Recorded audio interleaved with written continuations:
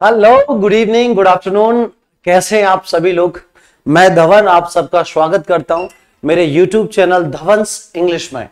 और आज dear friends जैसा कि मैंने आपसे प्रॉमिस किया था, दिन आ गया है, हम आरपीएससी ग्रेड सेकंड के प्रीवियस एग्ज़ाम्स को डिटेल में सॉल्व करने वाले हैं। हाँ जी, और इस क्लास में आप पाओगे कि तमाम आरपीएससी ने जो आज तक के एग्ज़ाम लिए हैं, उनको बेहतरीन ढंग से ऑथेंटिक आंसर्स के साथ आज हम बात करेंगे इन तमाम क्वेश्चंस को लेकर। और आज मेरे पास जो पहला पेपर है आरपीएससी का, हम उल्टे चलेंगे। हम 2019 के बाद और 2011 तक उल्टे चलने वाले हैं। सो ये 2019 का जो एग्ज़ाम हुआ था, आप देख सकते हो इसमें डिटेल है। ये एग्ज़ाम हुआ था थर्ड जुलाई को और ये स्पेशल एजुकेशन का था। टीएसपी का इंग्लिश का जो एग्ज़ाम रहा है आरपीएससी की तरफ़ से, ये हमारे पास लेटेस्ट सॉल्व पेपर है, जिस पर हम बात कर सकते हैं। हालाँकि सिलेबस में थोड़ी सी तब्दीलियाँ हुई हैं, बहुत ज़्यादा चेंजेस नहीं है, ना मात्र में। और बस यही कह सकते हैं कि आपके सिलेबस को बहुत ज़्यादा क्लियर कर दिया गया है इसमें। और आपके कमेंट्स अगर यहाँ आएँगे तो मैं देखता हुआ चल रहा हूँ। साथ साथ में आप बिल्कुल निश्चिंत रहिए। और अगर मुझे लगेगा कि कमेंट्स का जवाब देना चाहिए, कुछ बढ़िया अगर आप पूछ रहे हैं तो डेफिनेटली मैं जवाब दूँगा। सबके लिए thank you for joining me और बहुत सारे लोग इसको रिकॉर्डेड देख रहे होंगे, उनका बहुत बहुत अभिनंदन इस बेहतरीन से सीरीज़ को स्टार्ट करने के लिए। एक्चुअली इस क्लास को दोपहर को लाने का रीजन यही था, क्योंकि लंबी चलने वाली क्लास है, ये आधे घंटे पंद्रह मिनट में होगी नहीं। हाँ आप सब जानते हो लंबी चौड़े प्रैक्टिस सेट्स होते हैं इसमें। चलो, मैं बताता हूँ आपको कैसे करते हैं। तो ये क्लास नंबर फ़र्स्ट है। मतलब ये है प्रैक्टिस सेट्स की पहली क्लास है। पहली क्लास का मतलब पहले एग्ज़ाम से भी है। ये पहला पेपर में 2019 का आरपीएससी का ले रहा हूँ। हियर भी गो याद रखिएगा, आप इसकी पीडीएफ के लिए बिल्कुल चिंता ना करें। अगर आप इसके बाद आप, आपके पास इसकी पीडीएफ नहीं है तो मेरे ये टेलीग्राम चैनल की लिंक यहाँ पर मैंने दी हुई है धवंस इंग्लिश और आप उसको ज्वाइन कर सकते हो, वहाँ पर आपको ये पीडीएफ मिल जाएगा। ठीक है? आगे बढ़ता हूँ इसके बाद। ये बात हो गई तीसरी बात। यहाँ से हम स्टार्ट करेंगे, ये हमारा इंटरफेस रहने वाला है आरपीएससी ग्रेड टीचर का जो पेपर हुआ है सेकंड का। ठीक है? सीनियर टीचर का जो एग्ज़ाम रहा है, जिसके बारे में हम यहाँ पे बात करेंगे। सबकी बहुत बहुत शुक्रिया। यस जय हिंद ललित और जो भी स्टूडेंट लाइव हैं ये प्रीवियस ईयर्स uh, के सॉल्व पेपर हैं ये पहला पेपर मैं आपके लिए करा रहा हूँ। ऑलमोस्ट मैंने आठ दस पेपरों को इकट्ठा किया है जिनको एक एक करके मैं आपके सामने रखने वाला हूँ। और ये जो स्पेशल एजुकेशन का टीएसपी इंग्लिश का पेपर हुआ था तीन जुलाई को ठीक है? आप सब जानते ही हैं कि इसमें ढाई घंटे का हमें टाइम मिलता है। We have two and thirty minute and marks 300 है ना? 300 नंबर की इंग्लिश हमारे पेपर में पूछी जाती है।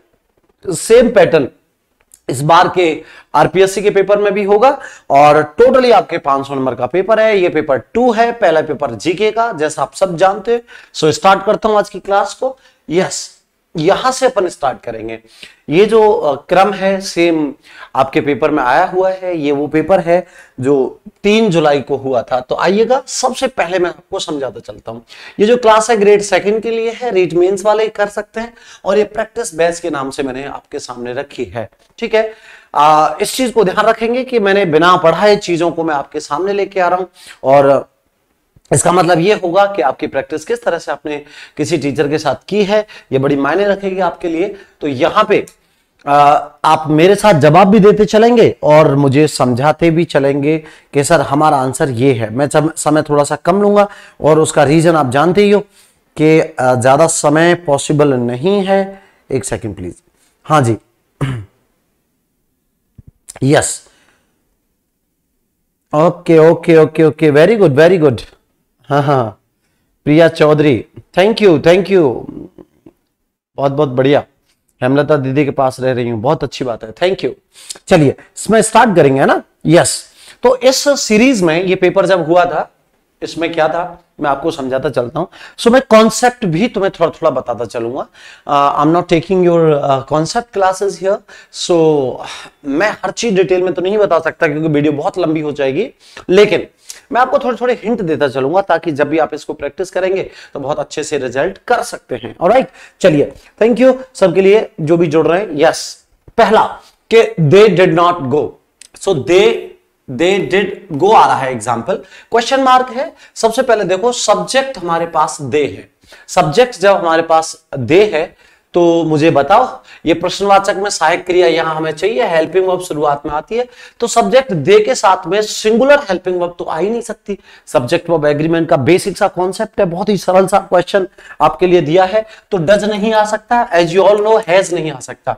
यू ऑल नो ये दोनों नहीं आ सकते हैं, पहली बात तो समझ लेना। एक्चुअली जब भी आपको ये ऑप्शनल क्वेश्चन मिला करें तो आपका सबसे पहले दायित्व बनता है कि आप ये देखा करो कि हटेगा क्यों?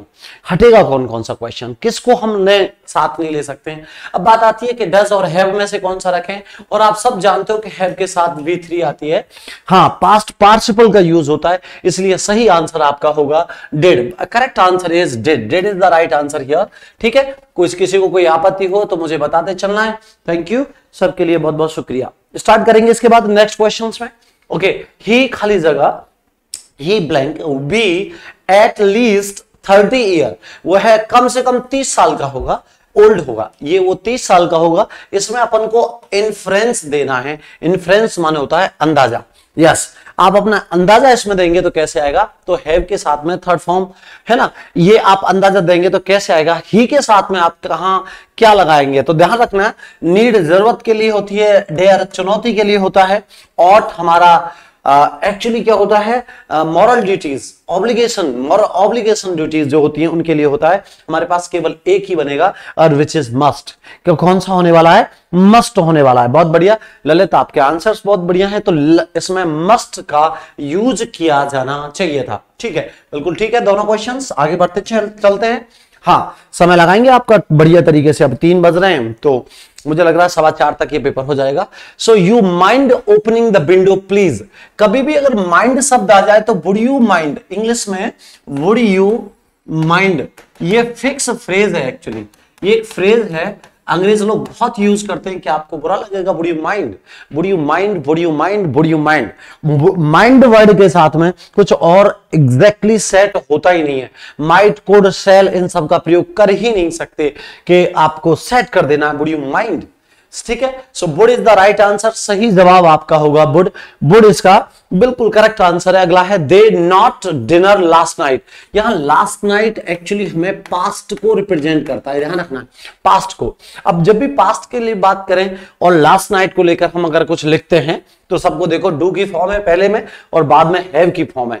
तो बताओ जरा कैसे, किसका प्रयोग करेंगे कि लास्ट नाइट के साथ में पास्ट है तो किसका प्रयोग करेंगे? यस फटाफट से जवाब दे दे मुझे। Yes they did not past में तो डिड नॉट आती है हेल्पिंग वर्ब के रूप में। दे डिड नॉट और डिड नॉट के साथ में आती है। ये जब हेल्पिंग वर्ब ये होगी तो मेन वर्ब इसके साथ में आती है बी वन फ़र्स्ट फॉर्म आती है। तो they did not have yes they did not have the dinner dinner last night sorry dinner से पहले धातु नहीं लगता है। So they did not have has have का हमने यहाँ हैव किया है डिनर लास्ट नाइट ये सब्जेक्ट वर्ब एग्रीमेंट का basic concept present present past future इन सब में छोटे छोटे से क्वेश्चंस आप सब जानते हो। टेंसेस का छोटा सा कॉन्सेप्ट हम लेके चल रहे हैं। कमान नेक्स्ट क्वेश्चन अपन देखेंगे इसके बाद। Yes here we go hardly hardly माने मुश्किल से। वी खाली we started when it began to rain याद रखना है कि हम चले ही थे कि बारिश शुरू हो गई है, ये एग्ज़ाम्पल है। आपको समझना है कि वैन से जब दो क्लॉजेस को जोड़ा जाता है तो एक तरफ़ विगेन वर्ब की सेकंड फॉर्म सेकंड फॉर्म के साथ में क्या प्रयोग होना चाहिए? आप सब जानते हैं। बताइए फटाफट से क्या होना चाहिए। एक सेकंड के लिए मैं रुकता हूँ।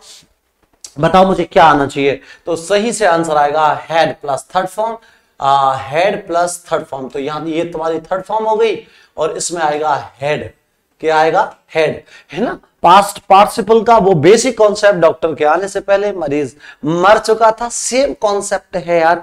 आज भी उतना ही वैलिड है जितना स्कूल में था। इट इज़ क्वाइट इजी बहुत आसान होता है इसको यूज़ करना।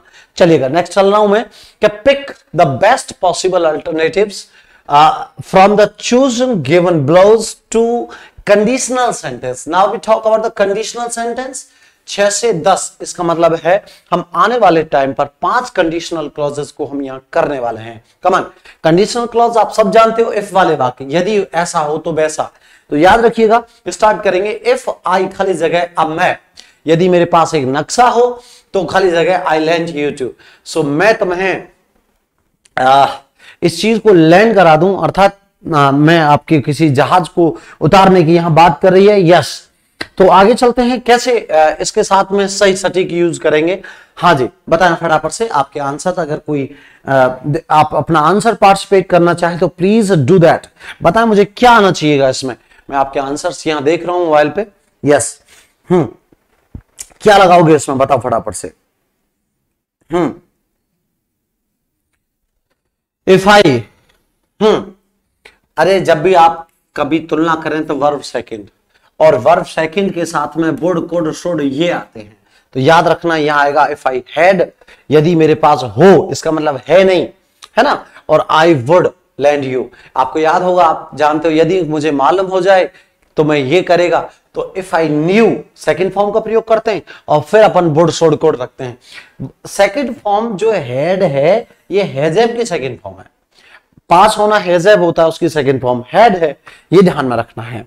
ये वो वाला हेड नहीं है। वो हेड और had been plus third form जो आता है कंडीशन थर्ड ये कंडीशन बनती है आपकी सेकंड कंडीशन इस पर अगर मैं जाऊँगा तो कंडीशन सेकंड होगी। इंग्लिश में तीन बेसिक कंडीशन है। एक ज़ीरो कंडीशन होती है जो साइंस के लिए बनी होती है। आगे बढ़ रहा हूँ इसके बाद। नेक्स्ट अगला क्वेश्चन है मेरे पास ये वाला। तो एक तरफ़ खाली जगह देखते हुए चलेंगे। कभी कभी ये दोनों तरफ़ सेट कर देता है। इफ़ खाली जगह न्यू यदि मुझे मालूम होता तो यू तुम आ रहे थे। तुम आ रहे थे, ये पास्ट बताता है। यही चीज़ आपको जानकारी दे देगा कि क्या होगा। इसका मतलब है, कोई इंसान है और जिसको मालूम ही नहीं था हेड नॉन आएगा। हम्म किसका प्रयोग करेंगे? हेड नॉन का। यदि मुझे मालूम होता कंडीशन नंबर तीसरी है, अगर तुम आ रहे हो तो मैं वहाँ आपसे मिलने आता एयरपोर्ट पर। कौन सी कंडीशन है? थर्ड कंडीशन का ये सेंटेंस रहेगा। और आगे बढ़ेंगे इसके बाद। अनलेस यू जब तक तुम अनलेस माने जब तक अनलेस यू जब तक तुम और वर्क हार्ड यू पास ठीक है? अब इसका हम बनाएँगे जब तक आप मेहनत नहीं करोगे, या आप पास नहीं होंगे, ठीक है? You would not pass unless you है ना? जब तक आप मेहनत नहीं करोगे, आप पास नहीं होंगे। किसका प्रयोग करेंगे बताओ फटाफट से। थोड़ा थोड़ा सा तुम्हारे तुम्हारे लिए गैप देता हूँ। You work not pass work will not pass work not pass किसका प्रयोग करेंगे फटाफट से?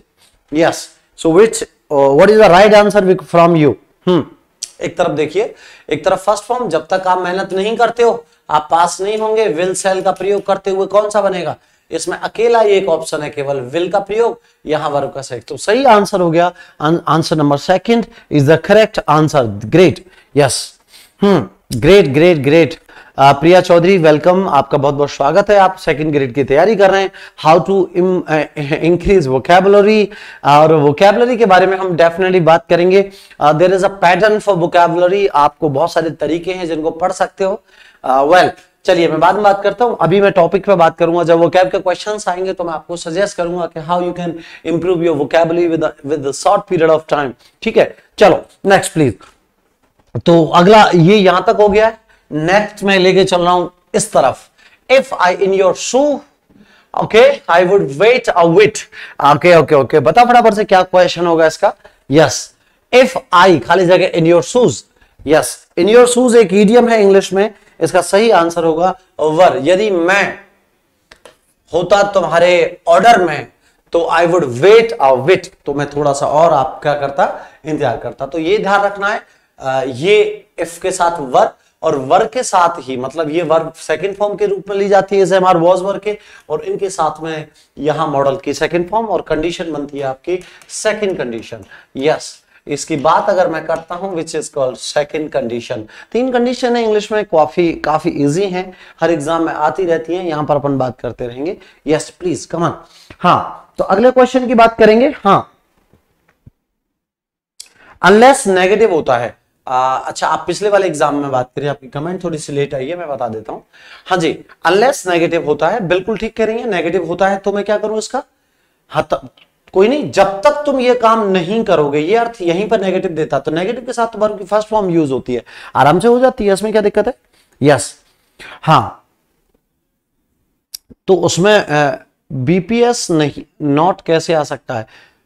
अनलेस नेगेटिव होने से ये है, उसमें नेगेटिव दोबारा से नहीं लगेगा, बाकी का तो यही है।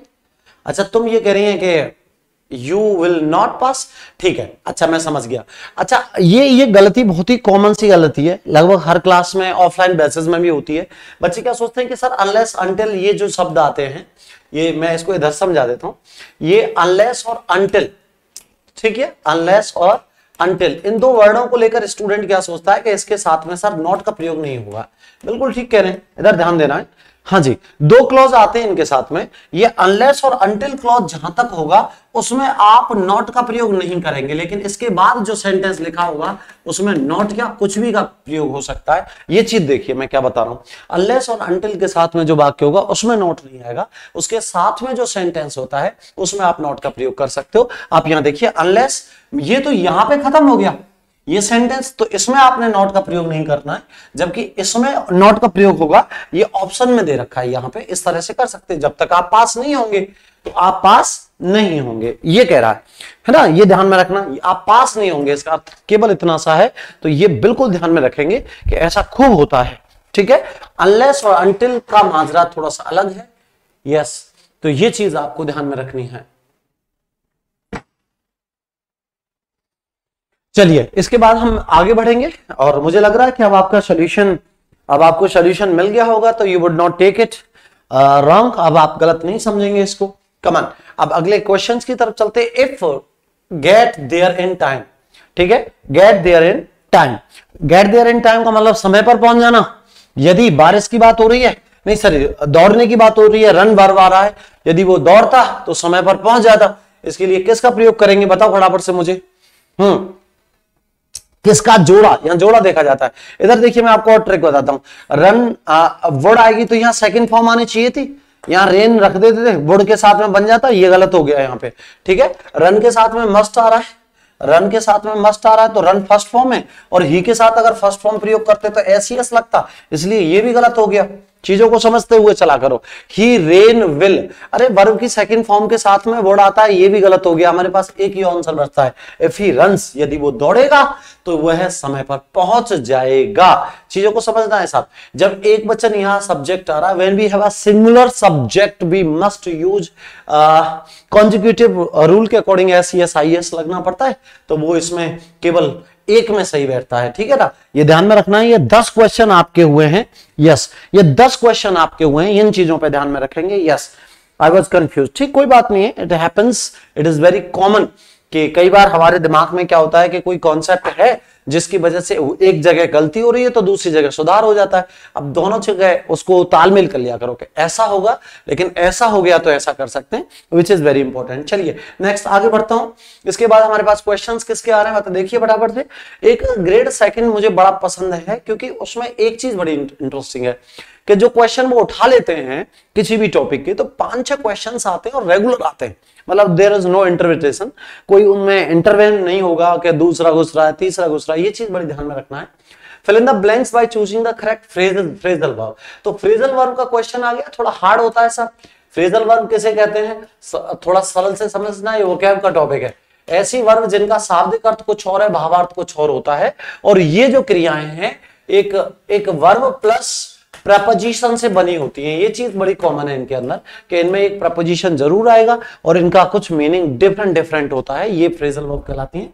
और ग्रेड सेकंड के लिए फ्रेजल वर्ब एक बड़ी प्रॉब्लम में से एक है। बड़ी काफ़ी अच्छी लेवल की फ्रेजल वर्ब भी पूछ ली जाती है। खैर, कई बार बहुत आसान पूछता है तो ज़्यादा दिक्कत नहीं है। No one get offer help देखिए साहब, मदद के लिए आगे आने के लिए केम फॉरवर्ड कम फॉरवर्ड एक वर्ब है फिक्स फ्रेज है कम अक्रॉस तो होता है किसी के अचानक सामने आ जाना है ना? ये मीनिंग है केम फॉरवर्ड माने आगे आना। मदद के लिए कोई व्यक्ति अगर जीवन में कभी किसी के लिए आगे आता है उसे कम फॉरवर्ड कहते हैं। ध्यान रखना है बेहद सरल सी क्वेश्चन है। कमन इसके बाद हम चलते हैं नेक्स्ट क्वेश्चन की ओर और, और समझते हुए चलना है।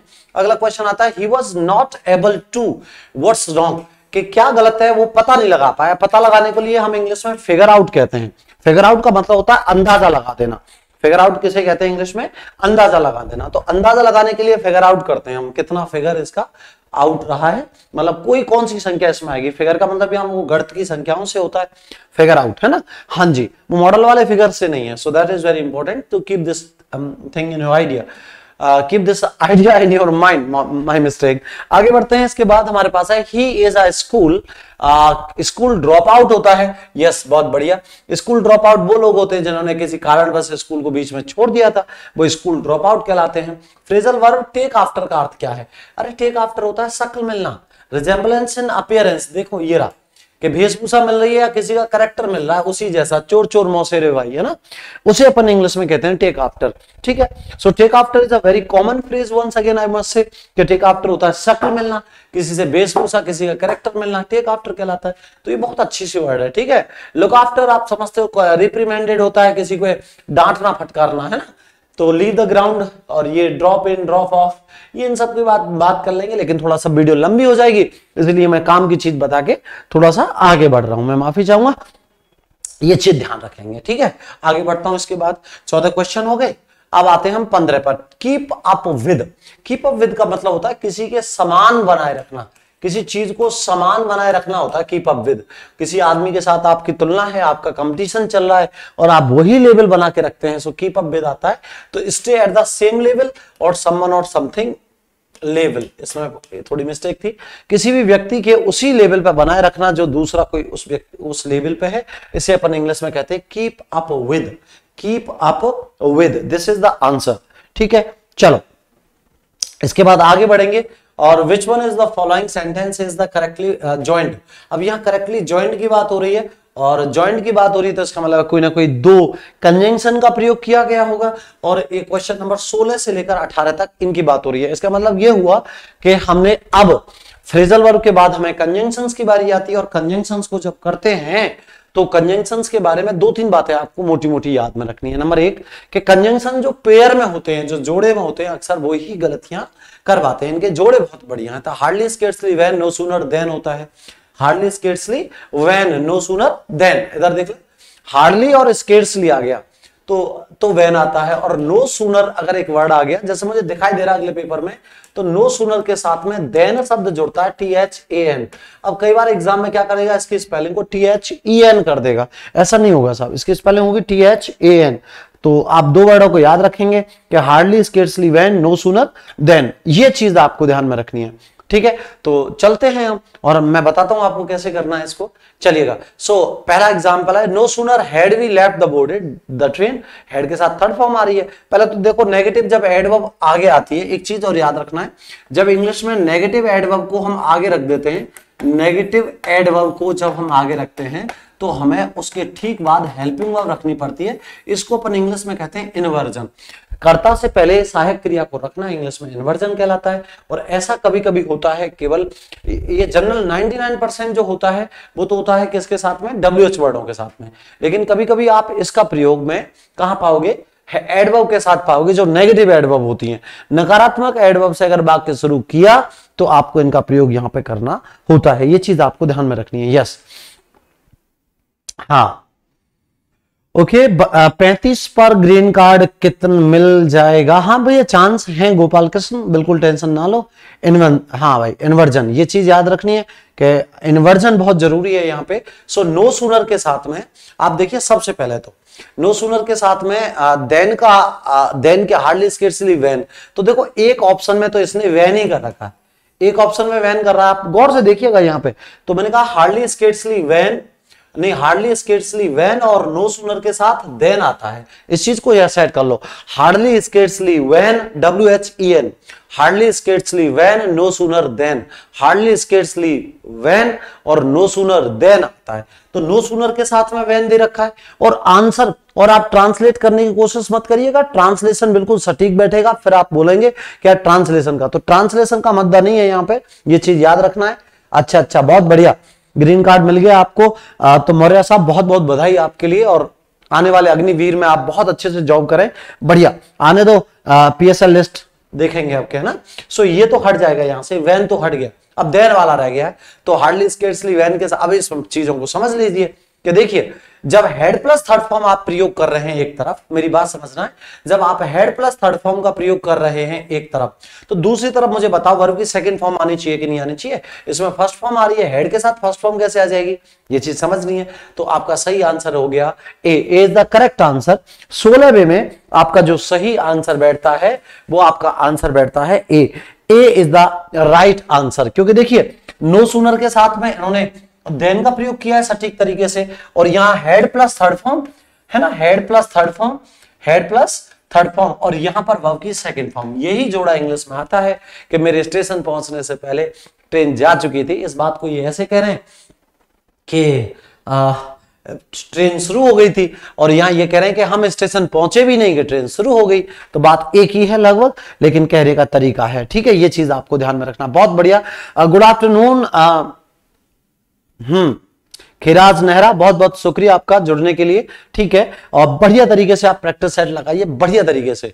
और पूरे एक्सप्लेनेशन के साथ प्रैक्टिस सेट से होता यह है कि आपका कॉन्फिडेंस लेवल बूस्ट हो जाता है। अगर मुझे आ रहा है that means I am doing very well और अभी पूरा पर्याप्त समय, अगर किस पार्ट में आपकी कमज़ोरी है, आप पहली वीडियो अगर देखे हैं मैंने, जो इससे पहले वीडियो बनाई है, उसमें मैंने बताया कि आपका जो सिलेबस है ना, आपका सिलेबस है हाँ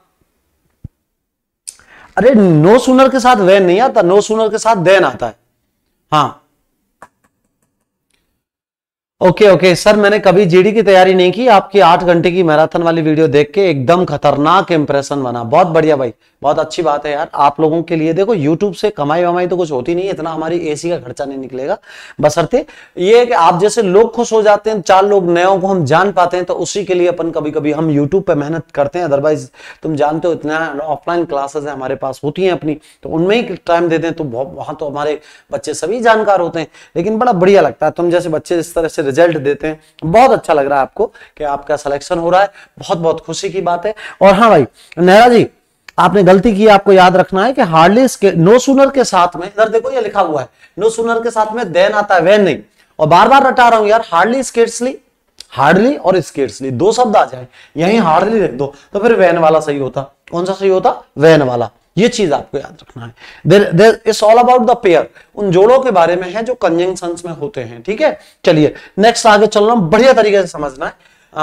भले ही टाइम पंद्रह मिनट ज़्यादा लगे लेकिन आप आ, ले आपको बिल्कुल डिस्टरबेंस नहीं करना है यहाँ पे और बढ़िया तरीके से समझ के चलना है ठीक है? चलिए नेक्स्ट प्लीज़ के he is slow but he is sure पहला एग्ज़ाम्पल ठीक है? इसका मतलब ये हुआ कि हमें जोड़ना है तो ये आपको याद रखना ज्वाइनिंग ज्वाइंट करने के लिए तो मिले हैं हमें ये सेंटेंस तो भाई साहब, सबसे अच्छी बात तो ये है कि he slow else he sure देखो भैया, मेरे को तो आंसर मिल गया है जे ही इज़ नाइदर स्लो और बट थोड़ी आता, यहाँ नॉर आता। नाइदर का जोड़ा तो नॉर से है, यहाँ पर नॉर है, ये, है ना? यस और स्लो और श्योर एकदम उल्टी उल्टी चीज़ है तो नॉर से नहीं जोड़ सकते। सही आंसर होगा आपका A. Is the correct answer he is slow but हाँ भाई, दो विपरीत चीज़ों को स्लो भी है, लेकिन श्योर भी है। दो विपरीत चीज़ों को जोड़ने का जो कंजंक्शन काम करता है, उसको हम इंग्लिश में बोलते हैं बट बट हमेशा कॉन्ट्ररी दो अपोजिट चीज़ों को जोड़ने का काम करता है, इसलिए आपका फोकस वहाँ पर होना चाहिए, ये चीज़ ध्यान में रखेंगे। Yes yes yes yes yes okay okay भाई। आ जाएगा आ जाएगा, टेंशन मत लो, है ना? यस तो याद रखना है। अब देखो, ये तुम्हारा हार्डली आ गया। अब आपको बताओ, हार्डली के साथ क्या लगाते हैं? कि सर, हार्डली के साथ वैन लगाते हैं। अरे, hardly scarcely when no sooner, than. तो हार्डली के साथ चलो। Hardly had I entered the room had plus third form आ रही है। वेन इट फ़ोन रिंग यहाँ पर सेकेंड फॉर्म आ रही है। वेन द फ़ोन रिंग इसका मतलब ये मेरे हिसाब से यहाँ अभी तक तो ठीक चल रहा है। है ना? क्वेश्चन नंबर अठारह। क्वेश्चन नंबर कौन सा है? अठारह। ठीक है? दूसरा देखो डिड आई इंटर्ड अरे डिड के साथ में फ़र्स्ट फॉर्म आती है। ये तो गलत हो गया। डिड के साथ कौन सी फॉर्म आती है? फ़र्स्ट फॉर्म आती है। और फिर आगे पढ़ने का कोई फ़ायदा ही नहीं है। यही गलत हो गया। हार्डली आई इंटर्ड तो मैंने क्या कहा? हार्डली नेगेटिव वर्ड है। नेगेटिव वर्ड है तो इसमें इनवर्जन की कमी है। किसकी कमी है? इनवर्जन की। अब भाई साहब, इसमें इनवर्जन तो करो। साइक्रिया पहले रखो। समझ रहे? तो इसलिए ये भी गलत हो गया इन्वर्जन नहीं हो रहा है तीसरे में। Hardly had I entered the room ठीक है सब, यहाँ तक तो सही है। हेड प्लस थर्ड फॉर्म का इन्होंने यूज़ किया, लेकिन आगे वॉज़ रिंगिंग नहीं कर सकते, क्योंकि वर्ब की सेकंड फॉर्म आएगी। Correct answer is one first is the right answer here सही जवाब होगा आपका पहला। पहला आपका बिल्कुल सटीक जवाब होगा। Yes yes? नमस्कार। हाँ जी हाँ जी, बैच चल रहा है हाई कोर्ट का? आपका शाम को साढ़े पाँच बजे मल्टीपर्पज स्कूल भरतपुर आ जाइए, ठीक है?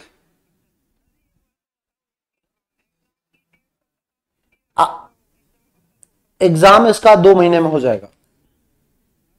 हाँ जी हाँ जी, ठीक। यस हाईकोर्ट एलडीसी के लिए बच्चा पूछ रहा है तो कह रहा है एग्ज़ाम कब तक होगा? तो बिल्कुल इसके बार जल्दी होगा। क्योंकि आप जानते हो एग्ज़ाम जब कैंसिल होते हैं तो एकदम जल्दी से होते हैं। आइए, अठारह क्वेश्चन हुए अब तक। आगे बढ़ रहा हूँ, इसके बाद हम चलेंगे। और अगले क्वेश्चन पे तो ये ध्यान रखेंगे। Yes hmm. एक सेकेंड रुक जाओ।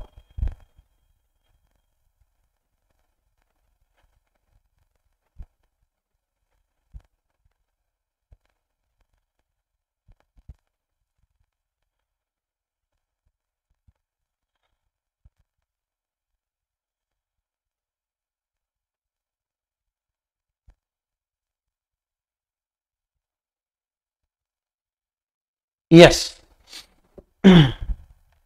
अगला है हमारे पास में चूज़ द करेक्ट कनेक्टिव्स को हम पूछ रहे हैं यहाँ पे। दोबारा से दे दिए दो क्वेश्चन कनेक्टिव्स के। वहाँ इन कनेक्टिव्स का यूज़ पूछ लिया गया था हमसे अभी। पीछे वाले में अगर हम बात करें तो तो जरा देखते हैं फटाफट से ये अगला क्वेश्चन एक्चुअली क्या है, मेरी अभी एक क्लास थी और मुझे लग नहीं रहा है कि अब मैं यहाँ से फ्री हो पाऊँगा। Yes yes hmm hmm. बहुत बढ़िया बहुत बढ़िया। चलिए आऊँगा बहुत जल्दी। ऑनलाइन में भी एयरफोर्स के लिए भी आऊँगा। बेटा थोड़ा सा ये है कि राजस्थान में ग्रेड के पेपरों में उलझा हुआ हूँ। ठीक है? चलो। So take it leave it या तो ले लो या छोड़ो। आ, तो बोथ हैंड का प्रयोग तो नहीं होगा। किसका प्रयोग करेंगे बताओ? ओनली बट ऑल्सो दो यट किसका प्रयोग करें? सही से बताओ फटाफट। Both take it and leave it ऐसी बात तो कर नहीं सकते। फटाफट से बताए मुझे, क्या आएगा? सही बात आइदर और या तो या तो ले लो, या छोड़ दो। ये सही आंसर आता है आइदर और मैं Priya is correct I read the paper मैं अखबार पढ़ता हूँ, आगे देखेंगे। I read the paper and it interest me और इससे इससे मुझे रुचि आती है। बताओ फटाफट से, क्या बढ़ेंगे? सो दैट बिकॉज़ किसका प्रयोग करेंगे? 20 में क्या आंसर आना चाहिए आपका? ये मुझे बताएँ फटाफट से। और सही है, आपका इंटरेस्ट बढ़ रहा है है ना? अखबार पढ़ने से क्योंकि से बनेगा फिर ये?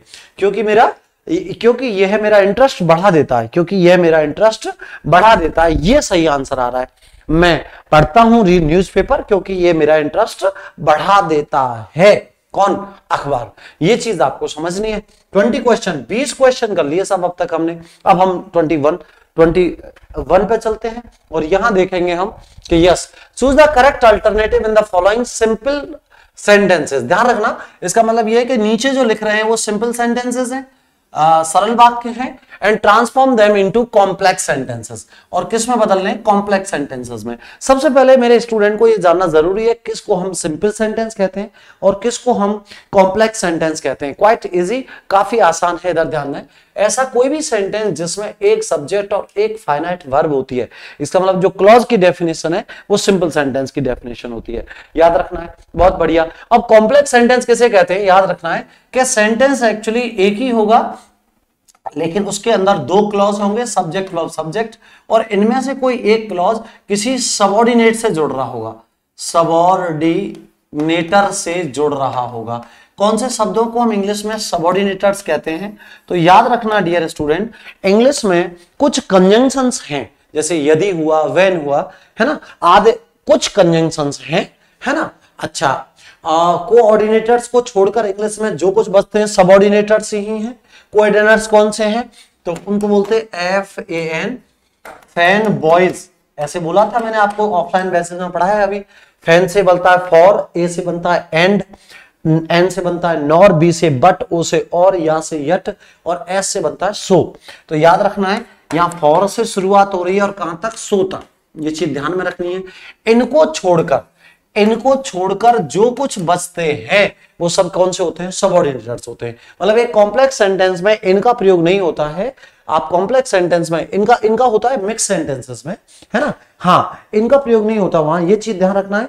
हाँ और यस कॉम्प्लेक्स सेंटेंस में यस में एक क्लॉज होता है। नहीं कॉम्प्लेक्स सेंटेंस में दो क्लॉज मिलेंगे और एक सब्जेक्ट वर्ब सब्जेक्ट वर्ब उसमें होगा और एक सबॉर्डिनेट एक कंजंक्शन होगा। इनको छोड़कर, ये जो नीचे रखे हुए उसे अपन सबॉर्डिनेट उसे हम कॉम्प्लेक्स सेंटेंस उसे हम कॉम्प्लेक्स सेंटेंस कहेंगे। आइए आंसर्स में देखते हैं कि he succeeded due to his father he succeeded due to his father ठीक है? ये लिख रहा है साहब। अब ये तो नहीं होगा, क्योंकि ये तो एक ही सेंटेंस बना, है ना? He success due to his father इसमें तो एक वर्ब आ रही है। तो भाई साहब, ये तो सिंपल सेंटेंस है। हमारा आंसर होगा ये वाला। ये ये मुझे चाहिए, ये कह रहा है वो, कि कॉम्प्लेक्स कौन सा है? ये बताएँ आप तो। अब कॉम्प्लेक्स की बात अगर मैं कर दूँ यस हाँ और बाकी सबॉर्डिनेट क्लॉज होते हैं, प्रिया बोल रही है, ठीक है या ध्यान दो। दूसरा he succeeded because his father help him एक दूसरा सेंटेंस आ गया, ये जुड़ रहा है विकास से। ठीक है? He success was only due to his father इसमें भी भाई साहब क्या हुआ कि इसमें दो क्लॉज नहीं आए तो ये भी नहीं हो सकता। अच्छा he and his father succeeded अच्छा ये तो एंड आ रहा है। अब मैंने क्या कहा था? एंड नहीं आना चाहिए तो ये तो होगा नहीं। अब आप बताइए मुझे इक्कीसवें में कौन सा आंसर दिख रहा है आपको? बताएँ फटाफट से। ट्वेंटी फ़र्स्ट में आप किसका प्रयोग करेंगे? आंसर आपके पास दो है अब, है ना? या तो चौथा इसका सही आंसर है, या इसका आंसर है आपका पहला। तो ये सेंटेंस था। माय मिस्टेक मैं गलती कर गया हूँ एक जगह। यस ये चीज़ समझ लो। मैं उस पर निशान लगा गया हूँ गलती से। हम्म ये सेंटेंस है हमारा। दोबारा देखे भाई। हमें सिंपल सेंटेंस दिया है। कौन सा वाला? ये वाला। ए, रुको यार। हाँ। ये हो गया हमारा सिंपल सेंटेंस हमें सिंपल सेंटेंस दिया है ये वाला। है ना?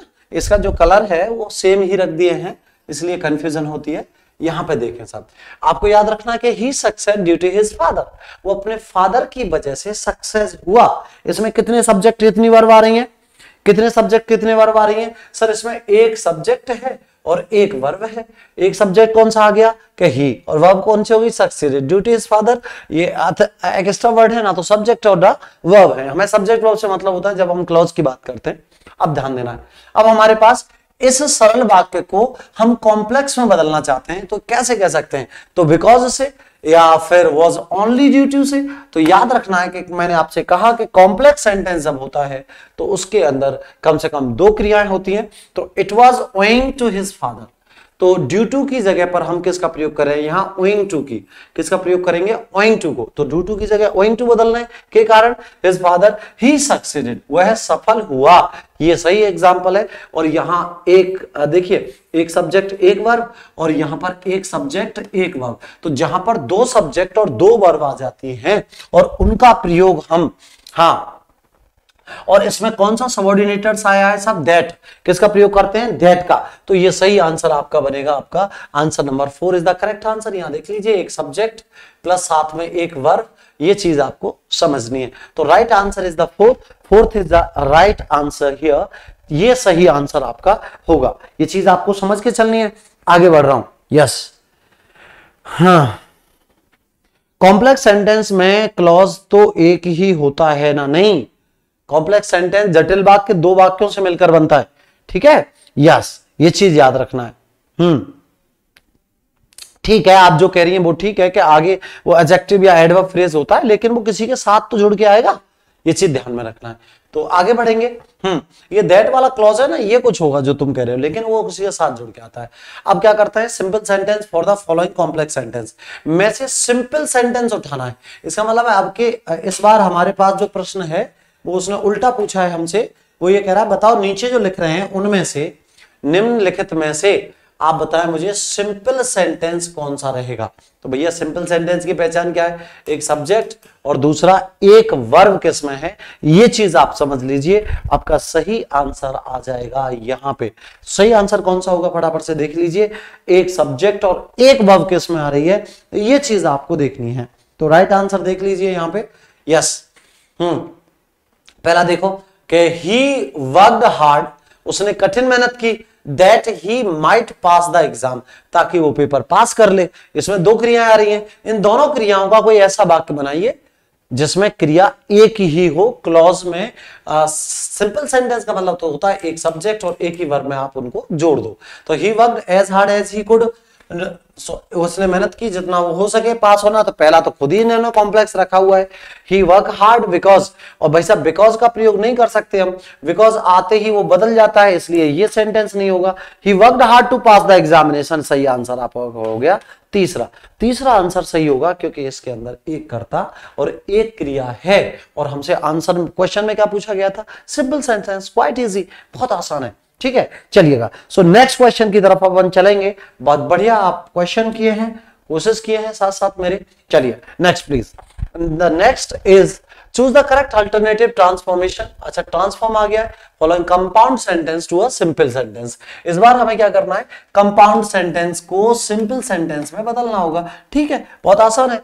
है ना? फ़ैन बॉयज़ से वाले से जुड़ने वाले कंपाउंड होते हैं और उनको सिंपल में बदलना है तो एक क्रिया का यूज़ करना है। आ जाइए कि we must eat or else we will die देखो वी मस्ट ईट हमें खाना होगा और वी कैन नॉट लिव और अन्यथा हम जी नहीं पाएँगे अन्यथा हम जी नहीं पाएँगे। इस सेंटेंस को हमें सिंपल सेंटेंस में बदलना है। आ, तो हम बिना खाए जी नहीं सकते ये सेंटेंस आ जाएगा। तो देखो कौन सा आएगा। वी मस्ट ईट और अरे यार सिंपल सेंटेंस में और कैसे लग देंगे? हैं? हैं? और का प्रयोग, देखे जरा। ये आइदर और नाइदर नॉर सो और ये सब किसकी पहचान होती है, बताओ मुझे। ये जो गोले किए हैं, ये सब पहचान है किसकी? कंपाउंड की। और हमसे पूछ कौन सा रहा है, ये बताने की ज़रूरत नहीं है मुझे। हमसे पूछा गया है क्या? यस हमसे पूछा गया है यहाँ पर क्या? कि हमें बताइए कि सही से सिंपल सेंटेंस कौन सा होता है? तो सही से सिंपल सेंटेंस तो एक ही बनता है हमारा, जो होता है we must eat to live हमें जीने के लिए, हमें जीने के लिए खाना होगा यह सही आपका आंसर रहेगा। ठीक है नेक्स्ट क्वेश्चन देखेंगे कि transform the following simple sentence into compound sentence simple sentence को किसमें बदल देना है? कंपाउंड सेंटेंस में बदल देना है। तो कंपाउंड सेंटेंस किससे बनाते हैं? आप सब जानते हो अब कंपाउंड सेंटेंस होता है जो फ़ैन बॉय से बनता है। है? सबॉर्डिनेटेड से बनाते हैं। इन चार, इन सात जो शब्दों से बनाते हैं, उसको कंपाउंड कहते हैं। कौन से? में आ रहा है ये देख लीजिए। Beside marking the making a promise है ना? ही कैप्ट इट वादा बनाने के अलावा उसने इसको निभाया। ये इसका आंसर है। तो he not only made a promise but also keep kept पहला he not only made a promise but he kept he made a promise, but he kept it. और he not only made a promise, but also kept तो सही answer बता दो। अरे यार, बच्चे भी बता देंगे इसको not only but also either और नाइदर और है ना? इन सब चीज़ों का जब आप प्रयोग करते हैं यस तो फिक्स होता है। हम्म। फटाफट से बता दो, फटाफट से कौन सा आंसर होगा आपका? यस तो एक चीज़ आपको समझना है कि he is not made a promise, not only made a promise, but he also, but he also kept. इसका प्रयोग याद रखना है। यह सही आंसर होगा आपका ए याद रखना है, इनमें एक दिक्कत जो होती है, उसको समझना है कि इन सब में जो दिक्कत होती है बट ही ऑल्सो याद रखना है कि इनमें जब दिक्कत यह रहती है कि इसका प्रयोग ठीक वर्व से पहले करना होगा दोनों बार।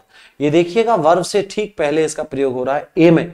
So not only but also इनसे इनका प्रयोग करते हुए कंपाउंड कॉम्प्लेक्स से आपने कंपाउंड uh, सेंटेंस बनाया है सिंपल से ऊपर सिंपल रख रहा था कॉमा लगा के ठीक है? चलिएगा नेक्स्ट क्वेश्चन हाँ तो एक बच्चा ये पूछ रहा था मुझसे अभी के आई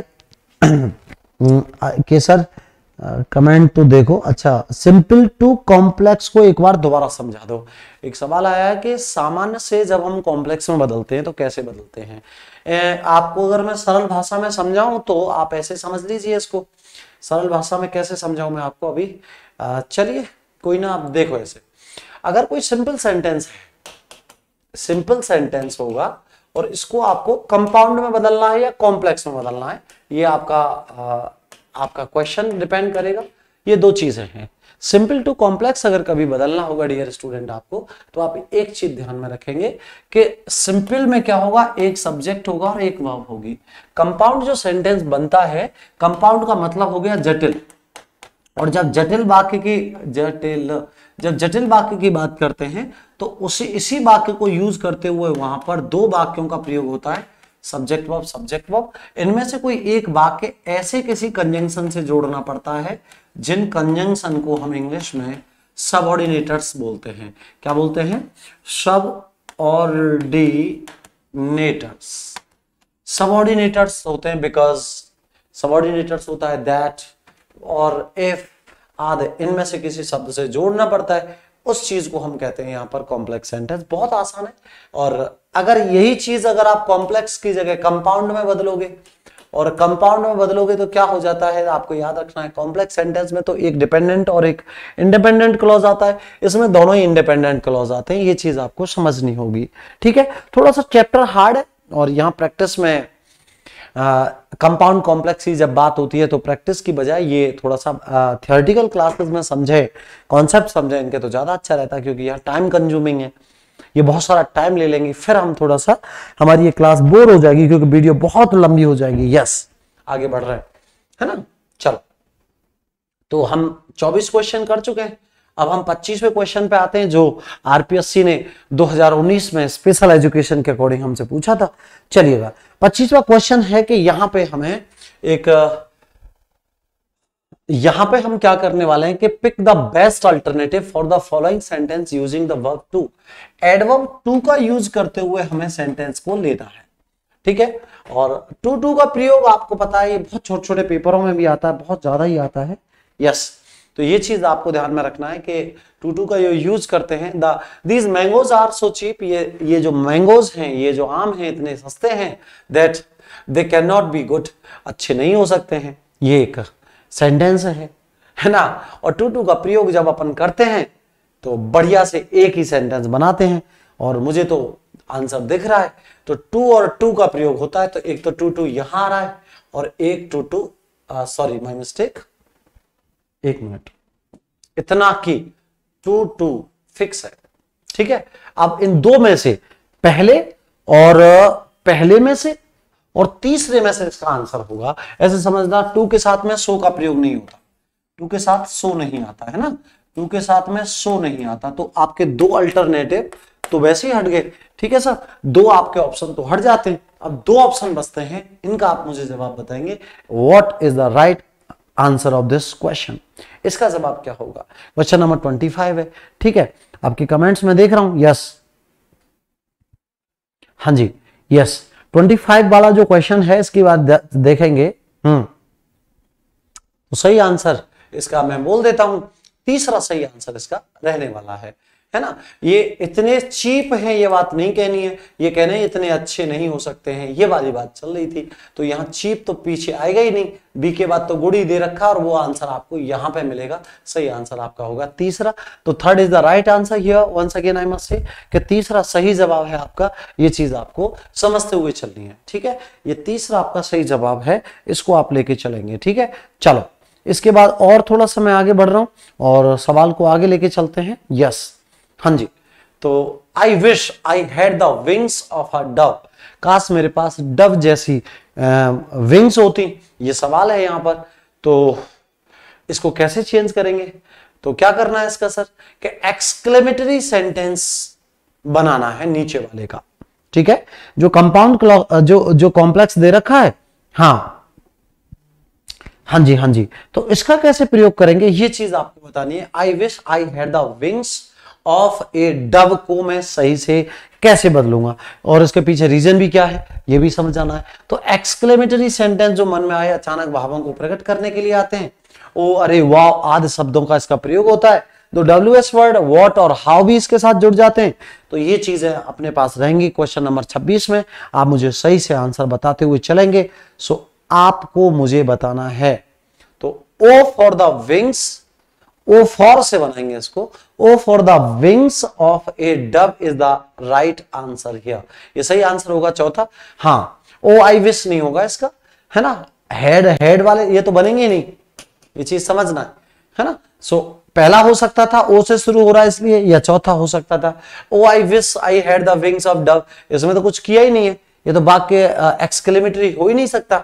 ये तो सिंपल सेंटेंस रखा है उन्होंने। बिल्कुल है ना? इसीलिए सही आंसर आपका बनेगा। नंबर चार is the number four is the right answer here आगे बढ़ रहा हूँ। क्वेश्चन नंबर इसके बाद ट्वेंटी सेवन लेंगे। Choose the alternative transformation from compound से इस बार हमारे पास जाना है कॉम्प्लेक्स की तरफ़। ठीक है? बढ़िया है। कंपाउंड से कॉम्प्लेक्स बना दो। और कॉम्प्लेक्स कैसे बनता है हम उसमें बात कर चुके हैं। है ना? चलिए, कैसे बनता है? द स्पेयर द रोड है ना? एंड स्पॉइल द चाइल्ड ये कहावत है। चलिएगा। इसका क्या मतलब रहेगा? कैसे इसका यूज़ करेंगे? आप मुझे फटाफट से एक बार बताएँ मुझे कि किस तरह से इसका सही आंसर होगा। Yes what is the right answer here hmm. चलो चलो चलो समझते चलो। हाँ। कौन सा आंसर होगा इसका सही? हाँ भाई। सर आप ऑफलाइन कहाँ पढ़ाते हो? हम्म, चलो तो स्टार्ट करते हैं। इसके बाद है the spare the rod and spoil the child फटाफट से बताएँ मुझे कि क्या इसका मीनिंग है। हम्म।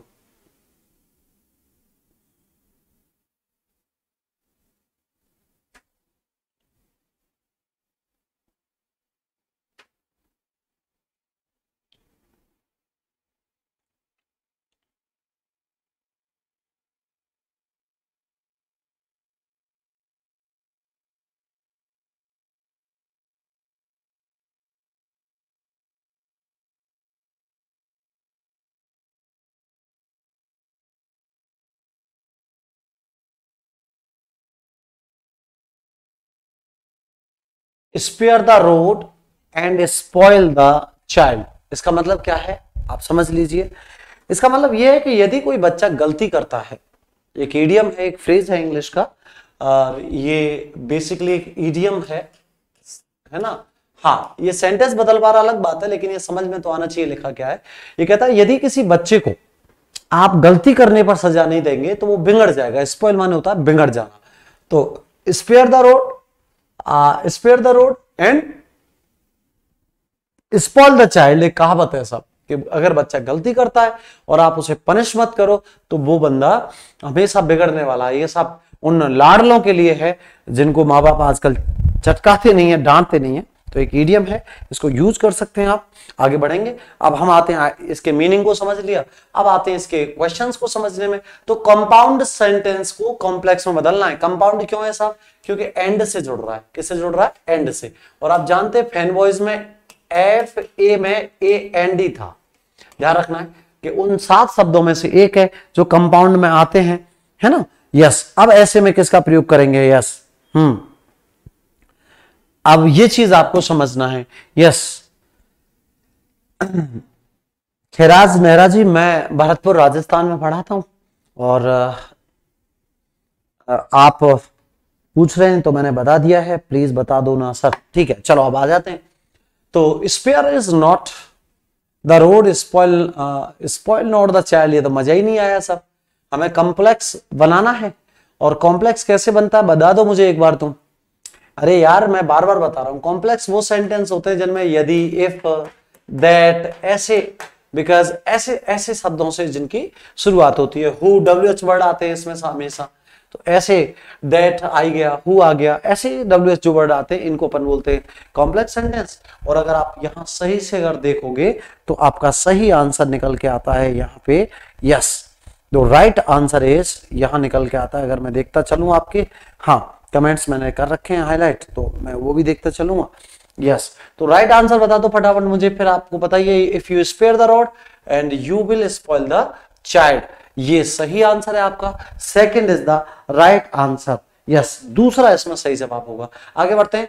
कि which is the correct okay which is the best possible alternative from choose the given ठीक है, ये क्वेश्चन कर रहे हैं, अट्ठाईस से लेके बत्तीस तक, कौन सा सही है? Which is the correct sentence in the superlative degree yes dear student superlative degree superlative degree कौन होती है? अरे, हिंदी में जिस वाक्य में सबसे बोलते हैं, तुलना करते हुए। सबसे अच्छा सबसे बढ़िया, सबसे घटिया, सबसे महँगा, सबसे सस्ता। सबसे के लिए अपन दा प्लस, एक वर्ड आता है ई एस टी या एक वर्ड आता है मोस्ट प्लस एजेक्टिव ये चीज़ हमें सुपरलेटिव डिग्री बताती है। यस अब यह बहुत सरल है डिग्री का वाक्य। कि Taj Mahal is the most beautiful building in the world बढ़िया है ये। मोस्ट ब्यूटीफुल बिल्डिंग आ रही है। द मोस्ट सुपरलेटिव डिग्री है। एज एज तो पॉजिटिव होती है। और ये तो डिग्री का बना ही नहीं। मोर ब्यूटीफुल देन होता है कंपेरेटिव सही आंसर हो गया. A is the right answer अट्ठाईसवें में से ए आंसर आएगा. बेहद आसान है. अट्ठाईसवें में कौन सा आंसर आएगा? ए आंसर आएगा. आगे बढ़ते हैं कि कंपेरेटिव डिग्री कंपेरेटिव डिग्री क्या होती है? जिसमें अधिक बोलते हैं. वो उससे अधिक दूर है, अधिक पास है, अधिक सुंदर है. इसमें ई आर आता है और इसमें मोर शब्द का प्रयोग होता है, ये चीज़ आपको ध्यान में रखनी है। तो ये देख लीजिए दोनों चीज़ें किसमें आ रही हैं। सही आंसर वही हो जाता है। जरा देखिएगा answer out of the two languages इन दो भाषाओं में से I am learning I find English the easiest easiest आ गया ई एस टी तो वो तो सुपरलेटिव डिग्री में चला जाएगा। Out of the two languages I am learning I find the English easy easy नहीं आएगा सर इजी नहीं आएगा। इजी तो कोई डिग्री नहीं बनेगी। Out of the two languages I am learning I find English the easier out of two language I am learning I find English the more easy तो देखिए साहब यहाँ पर आप समझ रहे होंगे कि आपको कंपेरेटिव डिग्री का जो एलिमेंट बनता है सीडी का बोलते हैं हमें इंग्लिश पढ़ाते समय इसको कंपेरेटिव डिग्री को। तो सीडी के ये दो वाक्य हमारे लिए सामने हैं। लेकिन यह ध्यान रखना है कि जब इजी वर्ड आता है तो बताओ उसके सामने आई एस आर लगाते हैं या मोर लगाते हैं। तो मोर आता है बड़े, जो लार्ज एजेक्टिव होते हैं, उनके साथ में। इसलिए ये सेंटेंस गलत हो जाएगा, सही आंसर हो जाएगा। तीसरा तीसरा the third is the right answer here ये चीज़ आपको ध्यान में रखना है। यस ओके ओके बहुत बढ़िया भैया। आई लिव नियर भाटिया आश्रम भरतपुर ठीक है। बहुत बढ़िया बेटा।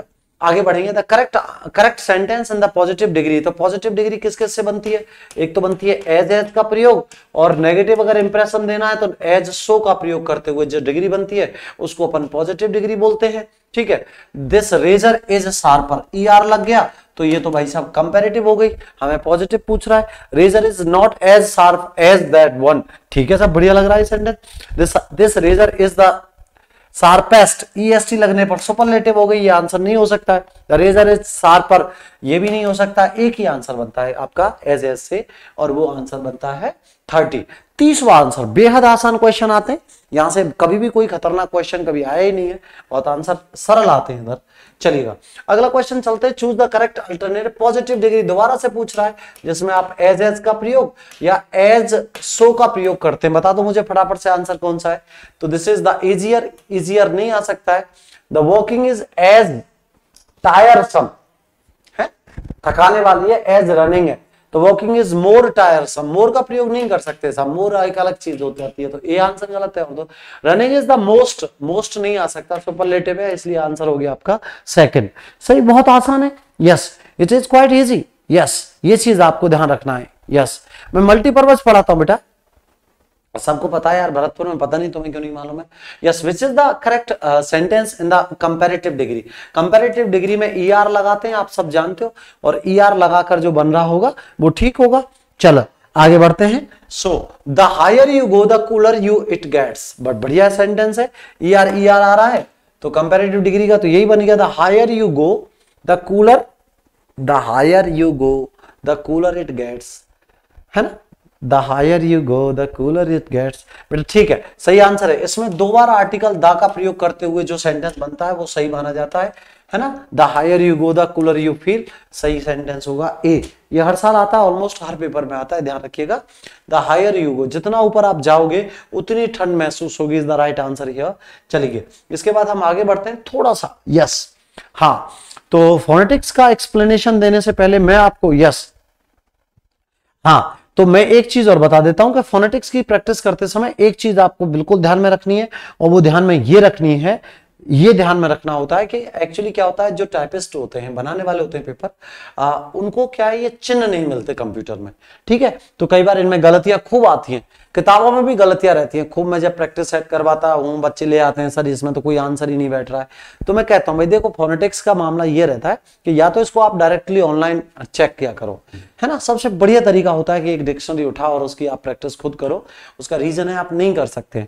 किताबों में गलतियाँ होंगी फोनेटिक्स को टाइप करने की सिस्टम नहीं है। आप जानते हो, बड़े ढंग से उसमें वर्डों को की एक्चुअली इंसर्ट किया जाता है, जो सिंपल कीबोर्ड में नहीं होते। तो इस वजह से। चलो खैर, कोई ना, हमें वर्ड इसका फोनेटिक्स पूछ रहा है प्लीज़ का, है ना? आप क्या पढ़ते हो इस वर्ड को? पहले तो यही बता दीजिए। यस और इसका क्या मतलब है? यहाँ से अपन शुरुआत करेंगे।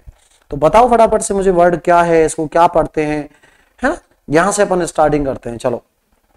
वर्ड आ रहा है P L E D G E yes हाँ जी।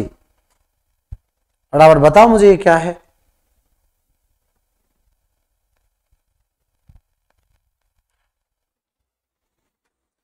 वर्ड होता है ये प्लेज इंग्लिश में वर्ब है प्लेज और प्लेज का अर्थ है इसको सही से ऐसे प्रोनाउंस करते हैं।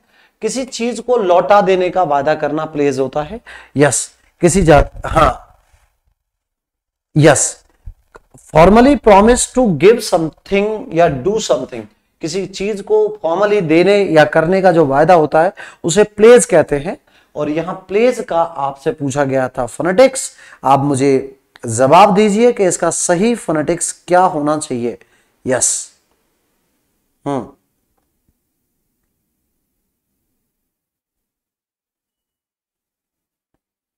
यस प्लेज का क्या है? हिंदी में क्या बोले इसको? प्रतिज्ञा? प्रतिज्ञा करना। चलो भाई तो प्लेस के लिए हमारे पास इनमें तो एक हाँ। एक आंसर आ रहा है sir. P L E Z यहाँ, नहीं, यहाँ डी जे आएगा इसमें तो। खैर कोई ना, ऐसा अक्सर देखने को आपको मिलेगा, जैसा मैंने सोचा था, वो एक्सपेक्टेड है। ठीक है? यस इसका सही फोनेटिक्स होता है P L E D J ये वाला इसका सही बनेगा। तो होपफुली किसी में भी नहीं था। मैंने कहा ना टाइपिंग वाले नहीं भी जानते तो यहाँ आंसर बी मान लेते अगर इसमें सही से देते तो लोग। एक्चुअली क्या है मैं बताता हूँ आपको ये जो वर्ड है ना ये जा जिसको बोलते हैं डीजे जिसको मैं बोलता हूँ ये जा होता है इंग्लिश में। ये कीबोर्ड में नहीं होता। अब इसको टाइप कैसे करेंगे? उनको उनके बस की कहा है? है ना? हाँ, तो ये ये दिक्कत रहती है। तो आप इसको भी देखते हुए आराम से चलना कोई दिक्कत नहीं है अक्सर ये ऐसा होता है सब। अब यस है ना? ये चीज़ आपको समझना है। अब आते हैं फोनेटिक स्क्रिप्ट और एक्सेंट को कैसे बांसते हैं पढ़ते हैं बोलते हैं। तो एक्सेंट कैसे बोला जाता है, ये बताओ मुझे। एक्सेंट तो पहले तो इसको मैं उल्टा कर देता हूँ। ये तो कोई वर्ड ही नहीं है, ऐसे है ये। एक्सेंट और सही वर्ड हो जाएगा ये वाला। तो फोर्थ नंबर पे आएगा, है ना? चौतीस का सही होगा एक्सेंट एक्सेंट है ना? एक्सेंट और एक्सेंट क्या होता है, आप सब जानते हो, लहजा। किसी भाषा को बोलने के लहजे को अपन क्या बोलते हैं? एक्सेंट ये चीज़ याद रखनी है। अगले क्वेश्चन की तरफ़ चलता हूँ, क्योंकि वीडियो बहुत लंबी हो जाएगी, फिर फोनेटिक डिस्क्रिप्शन ऑफ़ रीद की क्या है? तो ये तो बढ़िया है। रीद तो इसे कहते हैं, है ना? R E A T H wreath जो वर्ड है, इसको आप जानते ही सभी। उम्मीद करता हूँ।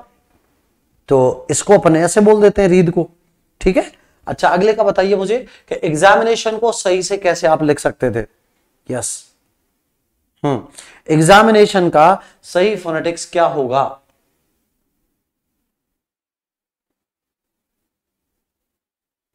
ठीक है। हाँ जी रीद माले क्या होता है? रीद माले होता है माला। ठीक है? जो माला महिलाएँ पहनती थी गले में, पहनती थी मतलब पहनते हैं कई बार, और मनके की या जो फूलों की माला होती है, उसको कहते हैं यस ये चीज़ आपको समझ के लेके चलनी है। The make the sentence examination और एग्जामिनेशन की अगर मैं बात करता हूँ तो एग्जामिनेशन कौन से से बनेगा, ये मुझे बता दो फटाफट से। What is the right answer of examination हाँ जी एग्जामिनेशन का फोनेटिक्स आपके हिसाब से कौन सा होना चाहिए? हम्म।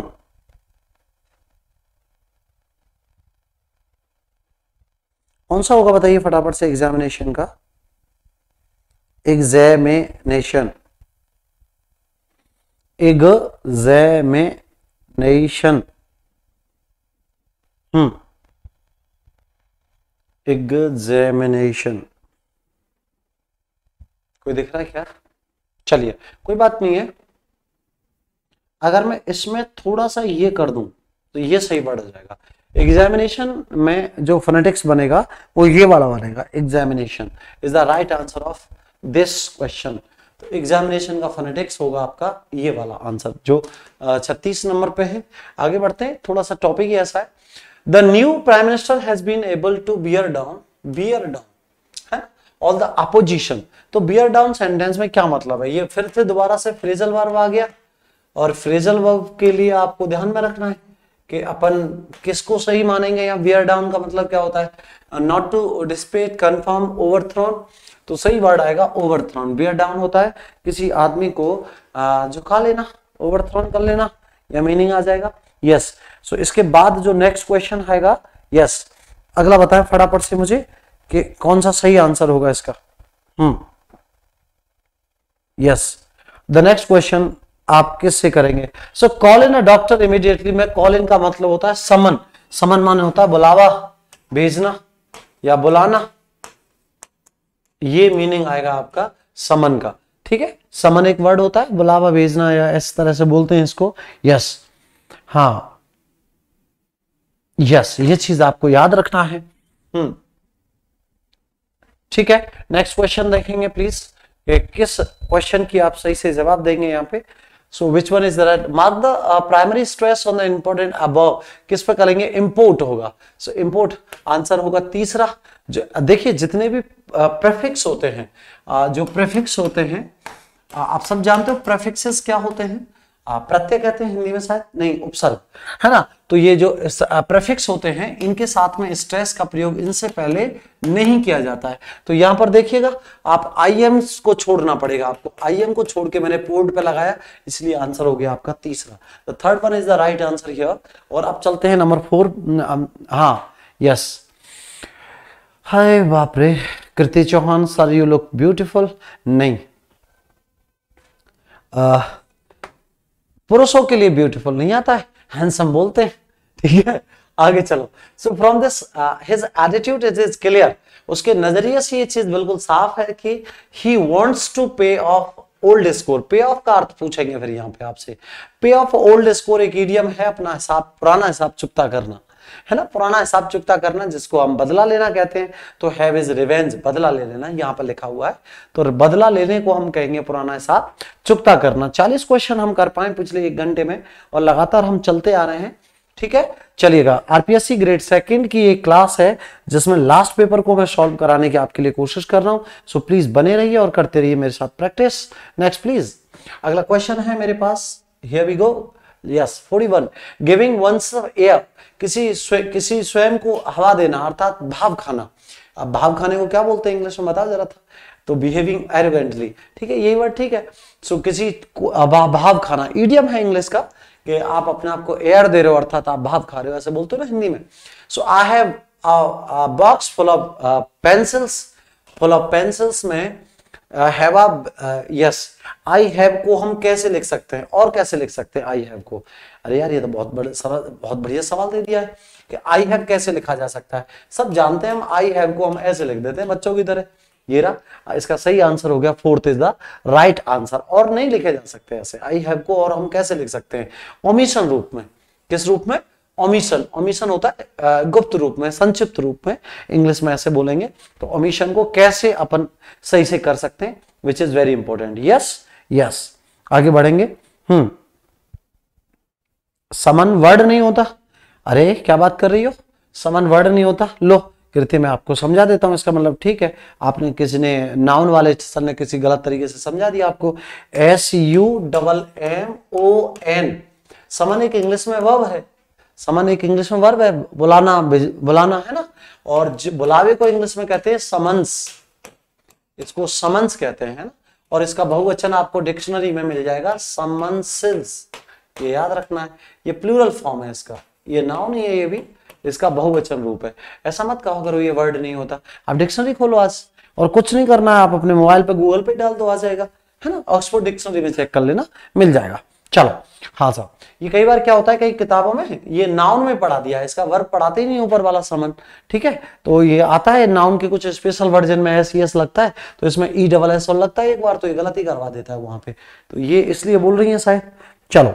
हम्म समन्स इज़ राइट वर्ड बहुत अच्छी बात बताई कीर्ति आपने, लेकिन हाँ हम दस साल से इंग्लिश पढ़े हैं बहुत ढंग से, आप बिल्कुल चिंता ना करें, हम गलत नहीं बताएँगे आपके लिए, आप आराम से डिक्शनरी चेक कर लो, जब देखना, जब बात करना कि हाँ यार टीचर क्या कह रहे थे? तो वो वर्ब की बात कर रहे थे, हम बुलावा भेजना, आप जो कह रही हैं वो नाउन की बात कर रही हैं, लेकिन कभी ये मत कहा करो कि वर्ड नहीं होता, ठीक है? थोड़ी सी नॉलेज वॉलेज बढ़ाओ अपनी, तब जाके आप जवाब दे सकते हो। चलो। हाँ। ठीक है? इंग्लिश बड़ी रिच लैंग्वेज है। हम एक सेकंड में नहीं बोल सकते ऐसा होता है कि नहीं होता है क्योंकि आ, हो सकता है हमारी नॉलेज में नहीं हो वो और इसलिए आपको ध्यान में रखना होगा। Right next please question number आते हैं हम 43 फोर्टी थर्ड और यहाँ हम नेक्स्ट चलते हैं। प्लीज़ बताएँ मुझे सही से आंसर क्या होगा? एक मिनट मुझे दे दें। ओके वर्व ही वर्व है सर ओके ठीक है। चलो next so which is one of the following correctly edited sentences कौन सा इसमें एडिटेड सेंटेंसेस है? ये क्वेश्चन पूछ रहा है। एडिटेड सेंटेंसेस के बारे में बात कर लो अब यहाँ पे। कैसे आएगा बताओ? कि कौन सा वाक्य सही है? आप तो ऐसे समझो। नीचे जो लिखे हुए हैं, उनमें से कौन सा वाक्य सही है? और आप, उसका आप मुझे जवाब देंगे। यस हाँ। हम्म। तैतालीसवा क्वेश्चन है। और सही इसका जवाब अपन देखते हैं कि he decorated in while in while the kitchen last year last year की बात है, चलिए। So we decorated the kitchen in while ठीक है we decorated in while the kitchen देखो भाई इन वाइल हो गया आपका समय। समय तो किचन के बाद आना चाहिए। तो इसलिए ये पहला सेंटेंस तो गलत हो गया। भाई, आप देखते हो पैटर्न क्या कहता है हमारा? एस बी ओ सी तो एडवर्बियल लास्ट में आएगा। आपने यहाँ रख रखा है तो गलत हो जाएगा, है ना? तो याद याद रखना है। यस अगला है we decorated the last year last year पहले आ गया, ये भी गलत हो गया। किचन वो we decorated the last year ऐसे नहीं होगा। सही आंसर होगा सेकंड वन क्यों भाई, कर्ता, क्रिया, कर्म, ये एक सिस्टमेटिक तरीका है। सब्जेक्ट आएगा वर्ब आएगी ऑब्जेक्ट आएगा। अगर कॉम्प्लीमेंट है तो आएगा एडवर्बियल है तो आएगा। ये चीज़ ध्यान में रखना होता है। ऐसे नहीं होगा कि आप कुछ भी और कभी भी स्टार्ट कर दे। So which is very important here ठीक है? चलो। नेक्स्ट uh, क्वेश्चन की तरफ़ हम चलते हैं कि फिल इन द ब्लैंक्स की बात आती है चूज़ द करेक्ट आंसर तो क्या आप, आप इसके साथ भरेंगे? तो ही इज़ फादर्स क्लेम तो फादर्स क्लेम को वो क्या करता है? ये मुझे बताएँगे आप फटाफट से। फादर्स मतलब पिता के क्लेम माने कोई बात होगी? यस उसके बारे में बताओ फटाफट से मुझे किसका प्रयोग होगा? क्वेश्चन नंबर 44 में आप क्या लगाना चाहेंगे? यस सो बैक बैकअप ठीक है? सो बैकअप कर देते हैं। बैकअप का मतलब यहाँ पे बी ए सी के हम्म बी एस सी के यूपी बैकअप सपोर्ट को कहते हैं, है ना? वो सपोर्ट करता था अपने पिता की क्लेम को, ठीक है? बैकअप का आता ब्लो ओवर नहीं आएगा। क्लोज अप पास आना होता है गेन ऑन लाभ कमाने की बात करेगा तो ये नहीं आ सकता आंसर चलिए अगले क्वेश्चन की तरफ़ हम चलते हैं और पैतालीसवा क्वेश्चन हम रखेंगे। तो ये चीज़ आपको ध्यान में रखनी है। Yes forty five new meaning can always be derived और डिराइव्ड के साथ में आप क्या लगाते हैं? गुड राइटिंग्स तो डिराइव्ड से निकलना तो डिराइव्ड के साथ हमेशा फ्रॉम आता है है ना? Yes yes. हाँ कोई चीज़ कहाँ से निकलती है? अगर ये चीज़ आपको करनी है उसको अपन इंग्लिश में कहते हैं डिराइव्ड जैसे गंगा हिमालय से निकलती है तो डिराइव फ्रॉम हिमालय आएगी तो इसलिए फ्रॉम का यूज़ होगा। यहाँ प्रपोजिशन की बात हो रही है क्या? Yes yes. आगे बढ़ेंगे। हिज ऑलवेज इंपॉर्टेंट तो अब यहाँ क्या भरना है? ये चीज़ समझना है। पहले तो यही समझ लो, ये बहुत कॉमन सी बात है। एडवाइज है ना? जा पढ़ते हैं इसको। एडवाइस और ये आता है एडवाइस इसको सा पढ़ेंगे, है ना? अब ये तो उच्चारण की बात हो गई। जिसमें ये आता है, ये वर्ब है। एक सेकेंड प्लीज़ इसमें ऐसी आता है, ये वर्व है, ये नाउन है। और अब इनमें से आप डिसाइड करेंगे कि क्या लगा दू मैं इसमें। अब याद रखना है कि हिज आ गया।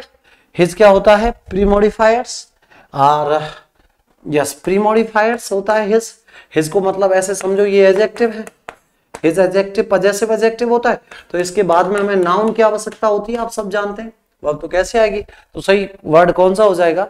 राइट करेक्शन इज़ नाउन हो गया आपका ये वाला। इसलिए आपका आंसर में अगर देखेंगे तो ए आंसर इसका सही होगा। ये चीज़ आपको याद रखना है कि माई और हिज आदि जो शब्द होते हैं, जिनको पजेसिव एडजेक्टिव कहते हैं इंग्लिश में, संबंधवाचक जो विशेषण होते हैं, उनका प्रयोग एक नाउन या प्रोनाउन से पहले होता है। तो यहाँ पर नाउन की फॉर्म चाहिए हमें।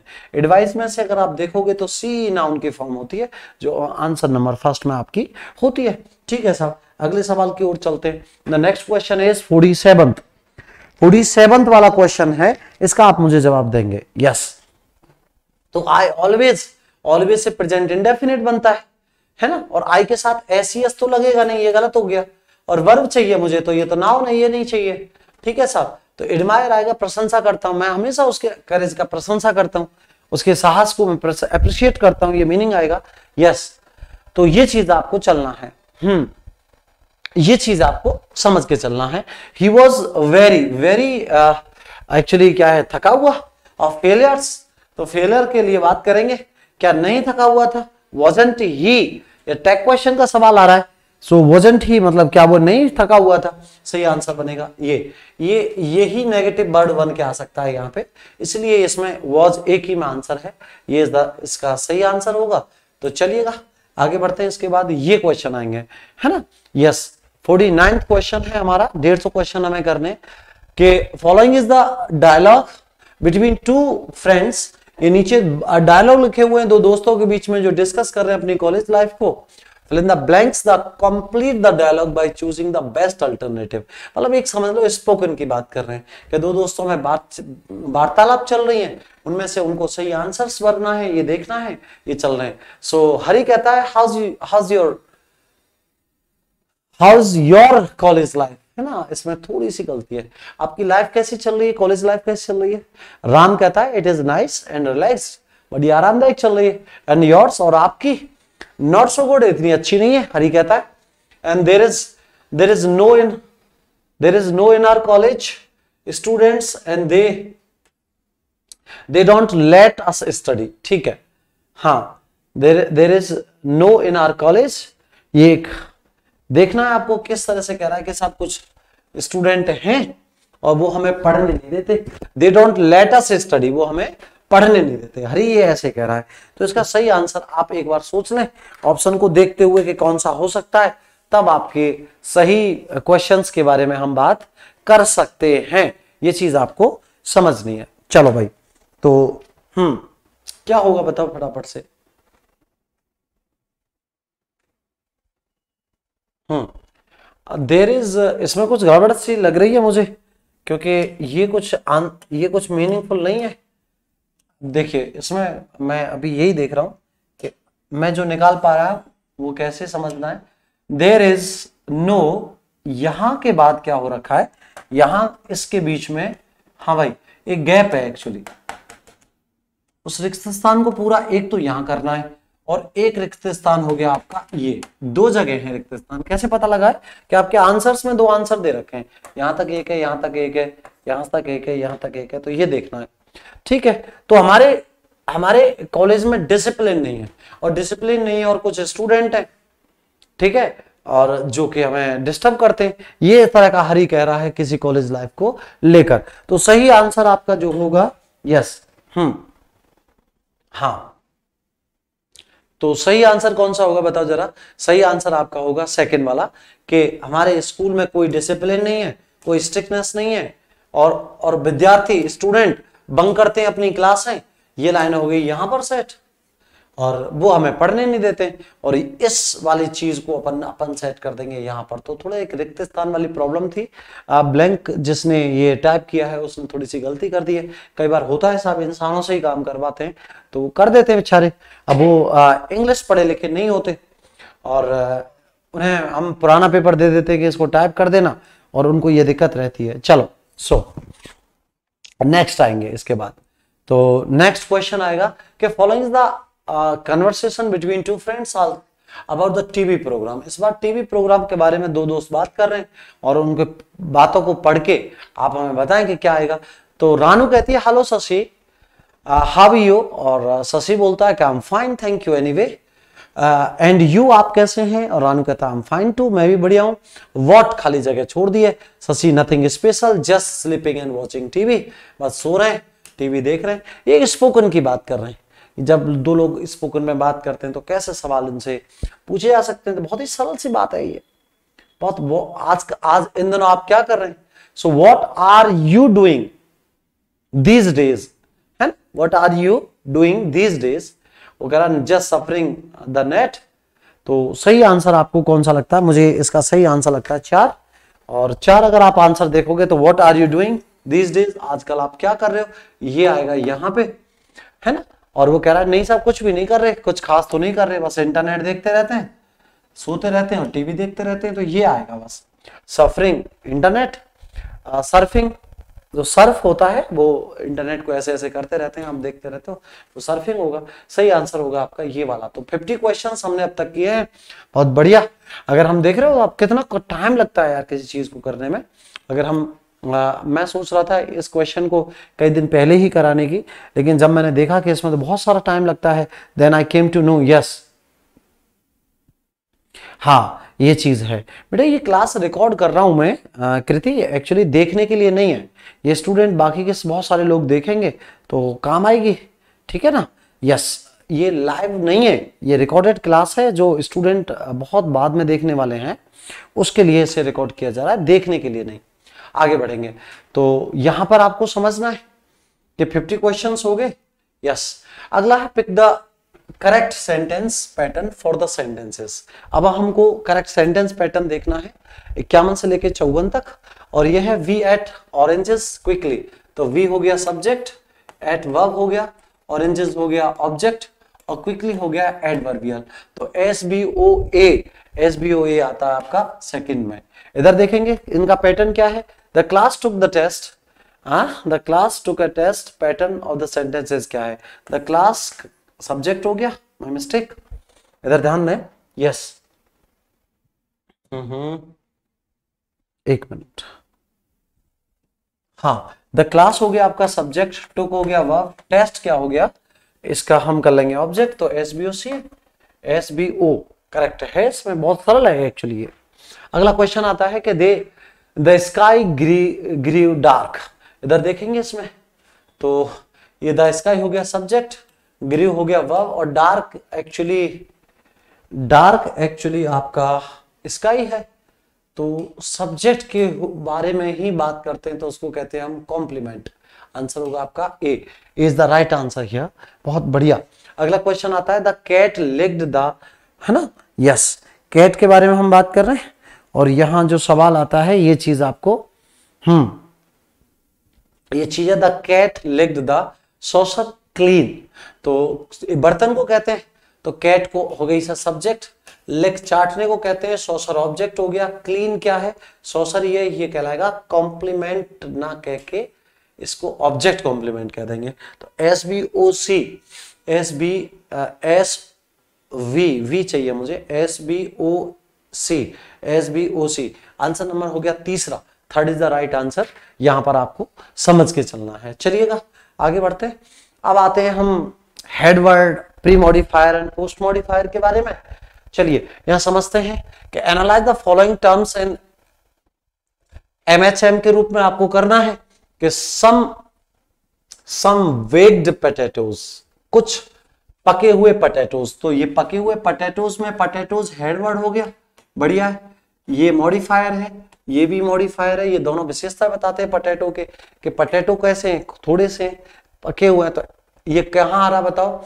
एम एम एच ये आ गया आपका सही answer fourth is the right answer here वापस चलते the first chapter of this book the first chapter of this book तो मेन वर्ड हो गया चैप्टर हेड वर्ड ठीक है?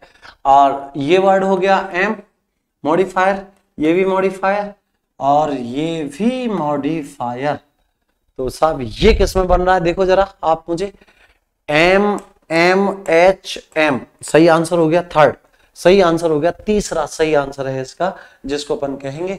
अगला क्वेश्चन है that table in the corner वह टेबल जो कोने में रखी हुई है that table in the corner सत्तावन माह है that table in the corner so ये चीज़ चलनी है that table in the corner तो ये वर्ड हो गया हेड वर्ड टेबल के बारे में बात कर रहे हैं?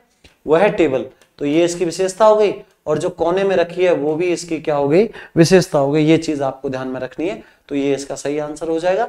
आपने तीन वर्ड करे हैं एम एच एम के तीन क्वेश्चंस यहाँ पर थे। चलेगा नेक्स्ट चलता हूँ, इसके बाद मैं एल्डरसन अगला क्वेश्चन जो आता है, वो चीज़ आपको समझ के चलना है। यस हाँ जी। हाँ। यस और नेक्स्ट चीज़ अगर आपको समझनी है तो एक मिनट रुको।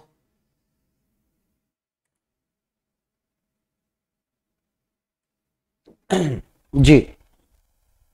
अब अगला जो चलेंगे क्वेश्चन को लेके चलेंगे तो उसको समझते हुए चलना है आपको कि next my elder son was a scholar my elder son was a scholar in the sentence my elder son क्या है सब्जेक्ट है भाई हाँ माय एल्डर सन क्या है। सब्जेक्ट है बहुत ही इजी क्वेश्चन है। और ऐसे तो आरपीएससी को नहीं देने चाहिए। ये चीज़ बहुत ही कॉमन सी है। सो दैट्स वेरी अमेजिंग हाँ। ये चीज़ आपको समझ के चलनी है कि ऐसे क्वेश्चंस आ जाते हैं, लेकिन फिर भी। So they grind accidentally small quantities इसको सही से। तो ये क्या है? ये पूछ रहे हैं वो। आंसर्स आपके नीचे रखे हुए हैं। व्हाट इज़ दैट ये इसका सही आंसर आपको देना है। ठीक है? क्वेश्चन नंबर 59 है। क्वेश्चन नंबर कौन सा है? यस 59 का सही आंसर दे ग्राइंड उन्होंने ग्राइंड किया। किसको ग्राइंड किया है? जिसको किया है वो ऑब्जेक्ट है एक्चुअली ठीक है? वो ऑब्जेक्ट है इसलिए इसमें सही आंसर आपको देना पड़ेगा वो ये कर, ये देना पड़ेगा ऑब्जेक्ट ये तीस जो क्वेश्चन है ये कईयों को अजीब सा लग सकता है कि सर इसमें तो एल वाई आ रहा है। हुँ? हम्म? नहीं आ रहा एक्चुअली क्या है कि वर्ब के बाद एडवर्बियल नहीं आता है। वर्ब के बाद हमेशा ऑब्जेक्ट आता है। और ऐसे सोचा करो उसने लिखा बहुत अच्छे से एक किताब। तो क्या लिखा? वो ऑब्जेक्ट का काम करती है वहाँ पे। ये चीज़ आपको ध्यान में रखना होगा। यस नेक्स्ट चलेंगे इसके बाद। साठवें क्वेश्चन की तरफ़।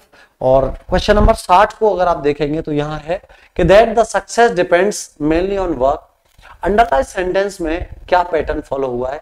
That success depends mainly on work में आप मुझे क्लॉज पैटर्न का एनालाइज करके देंगे कि ये क्लॉज किस तरह का है यहाँ पर। क्वेश्चन नंबर सिक्सटी सही आंसर आप दे सकते हैं। और क्वेश्चन नंबर सिक्सटी में अगर आप देखेंगे तो यस सबसे पहले सब्जेक्ट आएगा दैट सक्सेस के सफलता, ये सब्जेक्ट हो गया डिपेंड्स वर्ब हो गई, और सब, ये ये वर्ब हो गई, है ना? और वर्ब के बाद में अगर आप देखोगे इसको तो ये जो मेनली है, ये यहाँ पर एडवर्ब का काम करती है। और मुख्य रूप से एडवर्ब क्यों है? क्योंकि ये पैटर्न बताती है, और पैटर्न बताने वाला एडवर्ब होगा, और ऑन वर्क जो है आपका, वो हो जाएगा एक्चुअली ये काम तो इसको बोलेंगे हम क्या? कॉम्प्लीमेंट यस हाँ क्या बोलेंगे? कॉम्प्लीमेंट सिक्सटी नंबर का क्वेश्चन है एस वी ए सी आ रहा है. S V A C yes S V A C तो क्वेश्चन नंबर सिक्सटी में आंसर हो गया आपका दो. सेकेंड वाला आंसर है. No one spend money there the way you do कोई इस तरह से पैसे खर्च नहीं करता जो तुम करते हो। इस अंडरलाइन पार्ट का क्या मतलब है? ठीक। ये किस तरह का क्लॉज है? ये आपको बताना है। देखिए साहब, ये प्रपोजिशनल क्लॉज तो नहीं है। क्यों नहीं है? क्योंकि प्रपोजिशन से शुरू कब हो रहा है ये? हो ही नहीं रहा है। तो फिर बताओ क्या होना चाहिए? नाउन में से एडजेक्टिव में से? तो इस तरह से कोई खर्च नहीं करता जो तुम करते हो। इसका मतलब है, ये तरीका बता रहा है। और तरीका बताने वाला बेटा, या तो एडवर्ब क्लॉज कह लो या एडवर्बियल कह लो, ये तरीका बता रहा है। और आपको जानते हो कि एडवर्बियल के अंदर समय स्थान समय स्थान और तरीका, ये चीज़ आती है इंग्लिश में। समय स्थान, तरीके की अगर बात की जाए तो ये चीज़ें इसके अंदर आती हैं। यस, अगले क्वेश्चन की तरफ़ चलूँगा इसके बाद। चलिएगा, इस पैटर्न में ये क्वेश्चन 61 आया यहाँ पे। और उसके बाद हम आगे चलेंगे 62 पे। Analyse the underline word the term अब वही हमें प्री मॉडिफायर फिर मेन वर्ड हेड वर्ड जिसको कहते हैं, फिर आप आएँगे। तो देखिएगा a rolling stone gathered no moss ठीक है? हाँ gathers no moss a rolling stone gathers no moss मतलब चलती हुई चीज़ हमेशा अच्छी होती है, एक एडियम है, इसमें कैसे करेंगे? तो मुझे बताएँ, क्या है ये? रोलिंग स्टोन को हम क्या बोलेंगे? तो देखिए, सब स्टोन हो गया क्या? हेडवर्ड और हेडवर्ड के बाद पहले आ, क्या आ रहा है? प्री मॉडिफायर्स आते हैं। आगे क्या आते हैं? प्री मॉडिफायर्स तो सही आंसर हो गया आपका सेकंड वन सर आगे देखेंगे। बट बोट का एक्चुअली सही फोनेटिक्स क्या होगा? सो so, बोट का सही फोनेटिक्स ये होगा। बोट ठीक है? सो so, सही फोनेटिक्स कैसा आंसर होना चाहिए डिस्क्रिप्शन है इसका। बताएँ मुझे फटाफट से। मैं आपको एक चीज़ के लिए माफ़ी चाह रहा हूँ कि मैंने पहले भी बताया कि फोनेटिक्स ये बोट का होगा। है ना? बोट का। और मैंने कहा कि फोनेटिक्स की बात हुआ करे तो थोड़ी सी टाइपिंग मिस्टेक्स अक्सर होंगी तो उसको आप अवॉइड करिएगा, ठीक है? चलिएगा नेक्स्ट क्वेश्चन की तरफ़ चलते हैं तो यहाँ तक ये हो गया है। नेक्स्ट प्लीज़ देखें आप। अगला आता है कि identify the correct phonetic script of ये। इसका सही फोनेटिक स्क्रिप्ट मुझे चाहिए। तो इसको क्रेच कहते हैं इंग्लिश में। क्या कहते हैं? क्रेच हाँ जी। तो कैसे फोनेटिक्स इसमें सही होना चाहिए, इसको आप मुझे बता दें फटाफट से। हाँ जी C R E C H E C R E C H E को फोनेटिक्स में क्या कहते हैं? यस बताएँ फटाफट मुझे। हाँ। हम्म। क्रेच कहेंगे या क्रेश कहेंगे? हम्म। ठीक है। क्रेश। इसको पीछे वाले को चाना पढ़ के शाह पढ़ते हैं। ठीक है? सो क्रेश में सही फोनेटिक्स बनता है आपका फोर्थ वन ठीक है? उसका रीजन भी जान लो। क्रेश वो स्थान होता है जहाँ छोटे छोटे बच्चों को लालन पालन के लिए छोड़ दिया जाता है। उसको बोलते हैं। जहाँ पर पेरेंट्स काम करते हैं तो वहाँ पर इनका प्रयोग करते हैं। नेक्स्ट आता है the trans transcription of the receipt क्या होगा? तो रिसीट का सही होगा आंसर आपका ये वाला। थर्ड वन रिसिप्ट नहीं बोलते। पी साइलेंट होता है इसमें सही इसका जो उच्चारण होता, होता, होता है रिशीट क्या होता है? रिशीट और सही आंसर होगा आपका ये वाला। द फोनेटिक ट्रांसक्रिप्शन इस रिंकल का क्या होगा? रिंकल हाँ जी तो रिंकल को कैसे पढ़ेंगे करेंगे यूज़ में? तो ये बताएँ आप मुझे। रिंकल जिनको आप झुर्री कहते हो हिंदी में उसका फोनेटिक डिस्क्रिप्शन कैसे होगा? ये चीज़ आप मुझे बता दें भले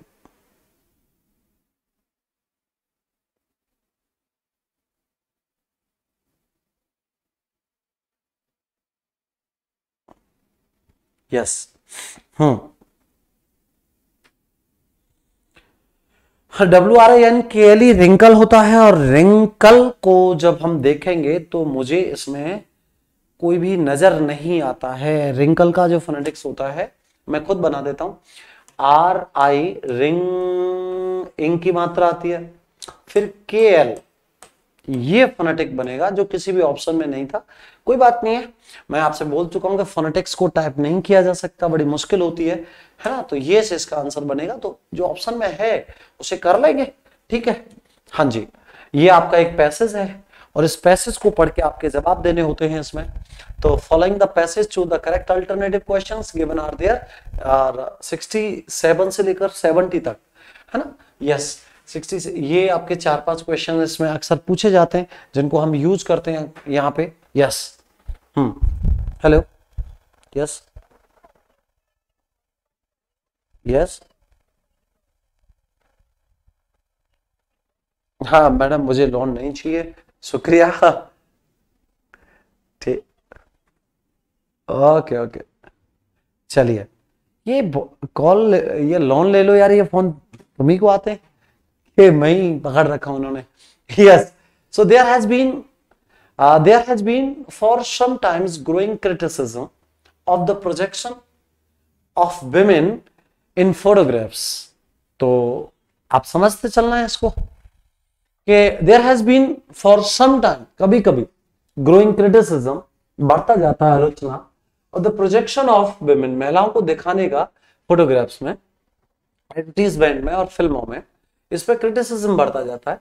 Advertisement in the print media as well as in film television अगर मैं एडवर्टीजमेंट की बात करता हूँ, प्रचारों की बात करता हूँ, चाहे प्रिंट मीडिया अखबारों की बात हो, साथ में फ़िल्म या टेलीविज़न की बात हो frequently rely on the feminist sex वो महिलाओं के सेक्स पर रिले करते हैं, निर्भर करते हैं रिले ऑन माने निर्भर करते हैं feminine sex appeal to attract attraction वो महिलाओं को ऐसे रिप्रेजेंट करते हैं जैसे वो लोगों को अट्रैक्ट कर रहे हैं द प्रोडक्ट द मेक स्कैनोवास ऑफ़ द ऑर्डिनरी मॉरल्स जो ऑर्डिनरी uh, हमारे जो मॉडल्स होते हैं मॉरल uh, होते हैं उनको एक्चुअली अवॉइड uh, करते हुए यहाँ पर देखा जाता है।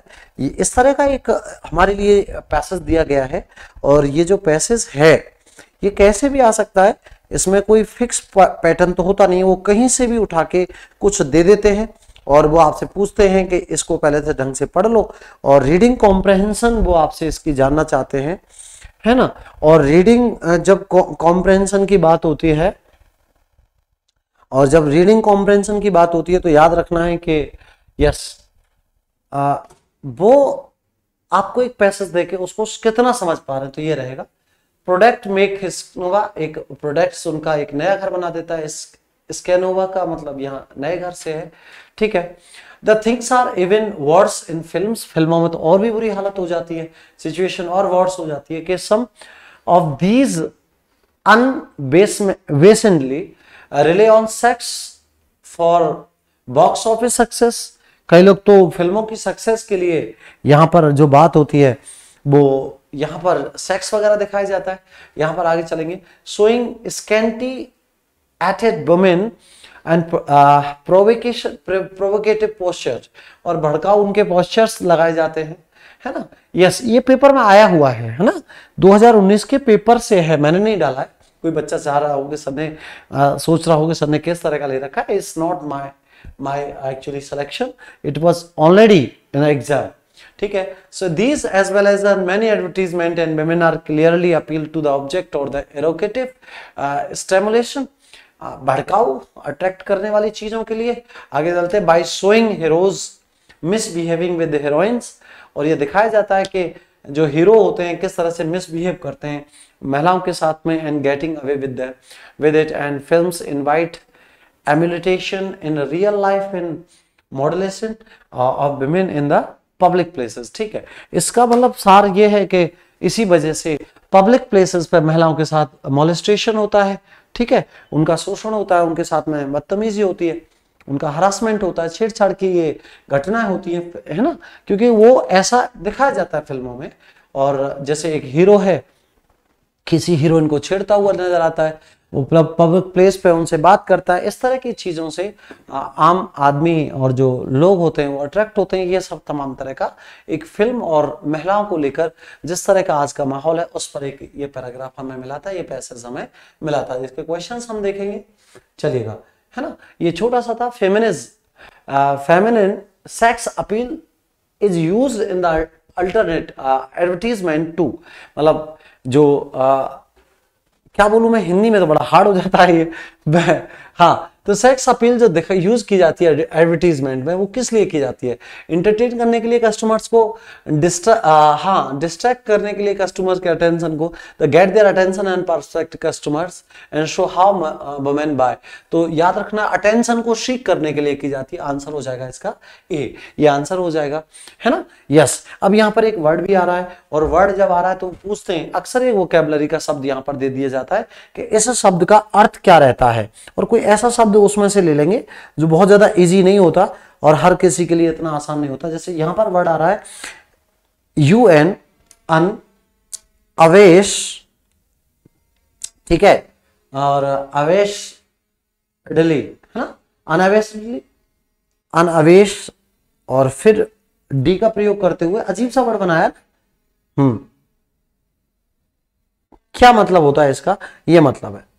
तो अनअवेशनली का अर्थ जो होता है, वो होता है निश्चित रूप से। यस क्या अर्थ होता है? निश्चित रूप से इसका अर्थ होता है। तो क्या बोलूँ मैं फिर इसको इसके मीनिंग में क्या अपन रख सकते हैं? ये चीज़ आपको समझ के चलनी पड़ेगी। यस कि इसके जो सही आंसर आप इसका लेके चलोगे, वो आंसर लेंगे with no sign of being ashamed है ना? बिना शर्माए एक्चुअली क्या है? ये चीज़ निश्चित रूप से बिना शर्माए पैसेज में दे रखी है। इस वजह से इसका आंसर होगा फोर्थ, है ना? चौथा इसका आंसर है। अगला चलेंगे इसके बाद।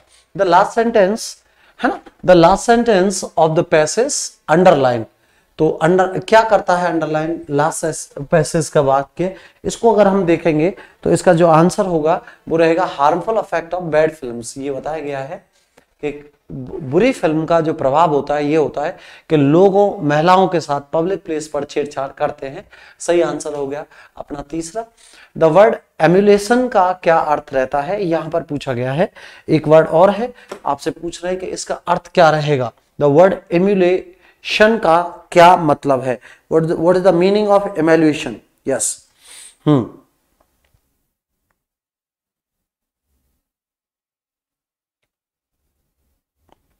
और एम्यूलेशन जो वर्ड होता है, उसका मतलब कॉपी करना होता है, किसी चीज़ को अनुसरण करना होता है तो यहाँ पर सही आंसर में हम क्या बोल सकते हैं बताइए फटाफट से?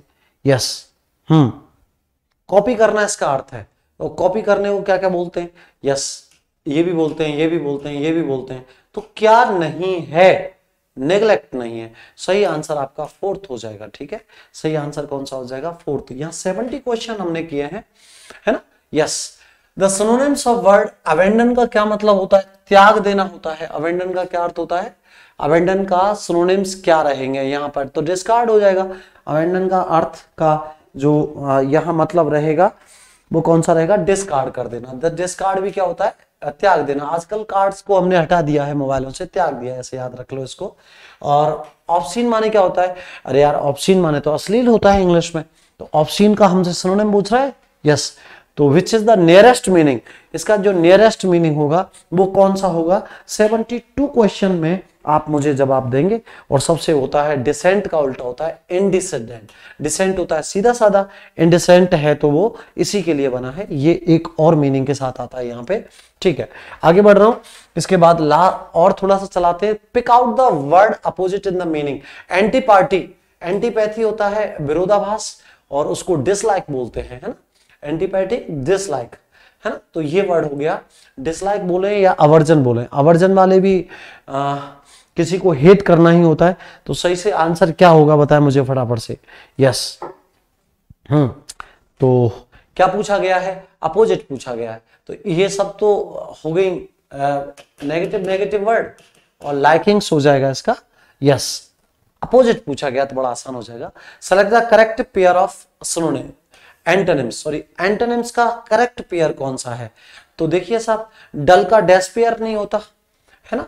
निराशा नहीं होता डीप का हॉलो नहीं होता हाई होता है अब्जर्ड का ये नहीं होता है। तो एस्टेबलाइज स्थापित करना डेमोलाइज विध्वंस करना सही पेयर तो ये है। इसका मतलब ये है कि आरपीएससी कई बार आपको पेयर में भी पूछ लेता है कि इसका सही जवाब क्या है। ये भी ठीक है। तो आ, जैसा कि मैं देख पा रहा हूँ ये बढ़िया से सुनने मेंटेनेंस आपके लिए दिए थे। और इसके बाद which one is the part is not a part a structure of classical ode classical ode का कौन सा हिस्सा नहीं है? यहाँ से क्वेश्चन हम स्टार्ट करेंगे अगली क्लास में।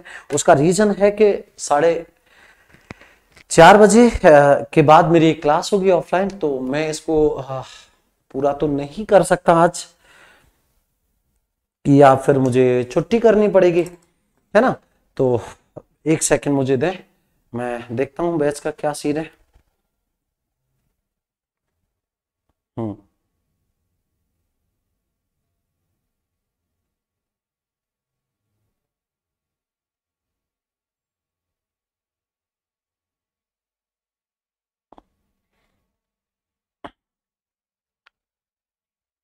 यस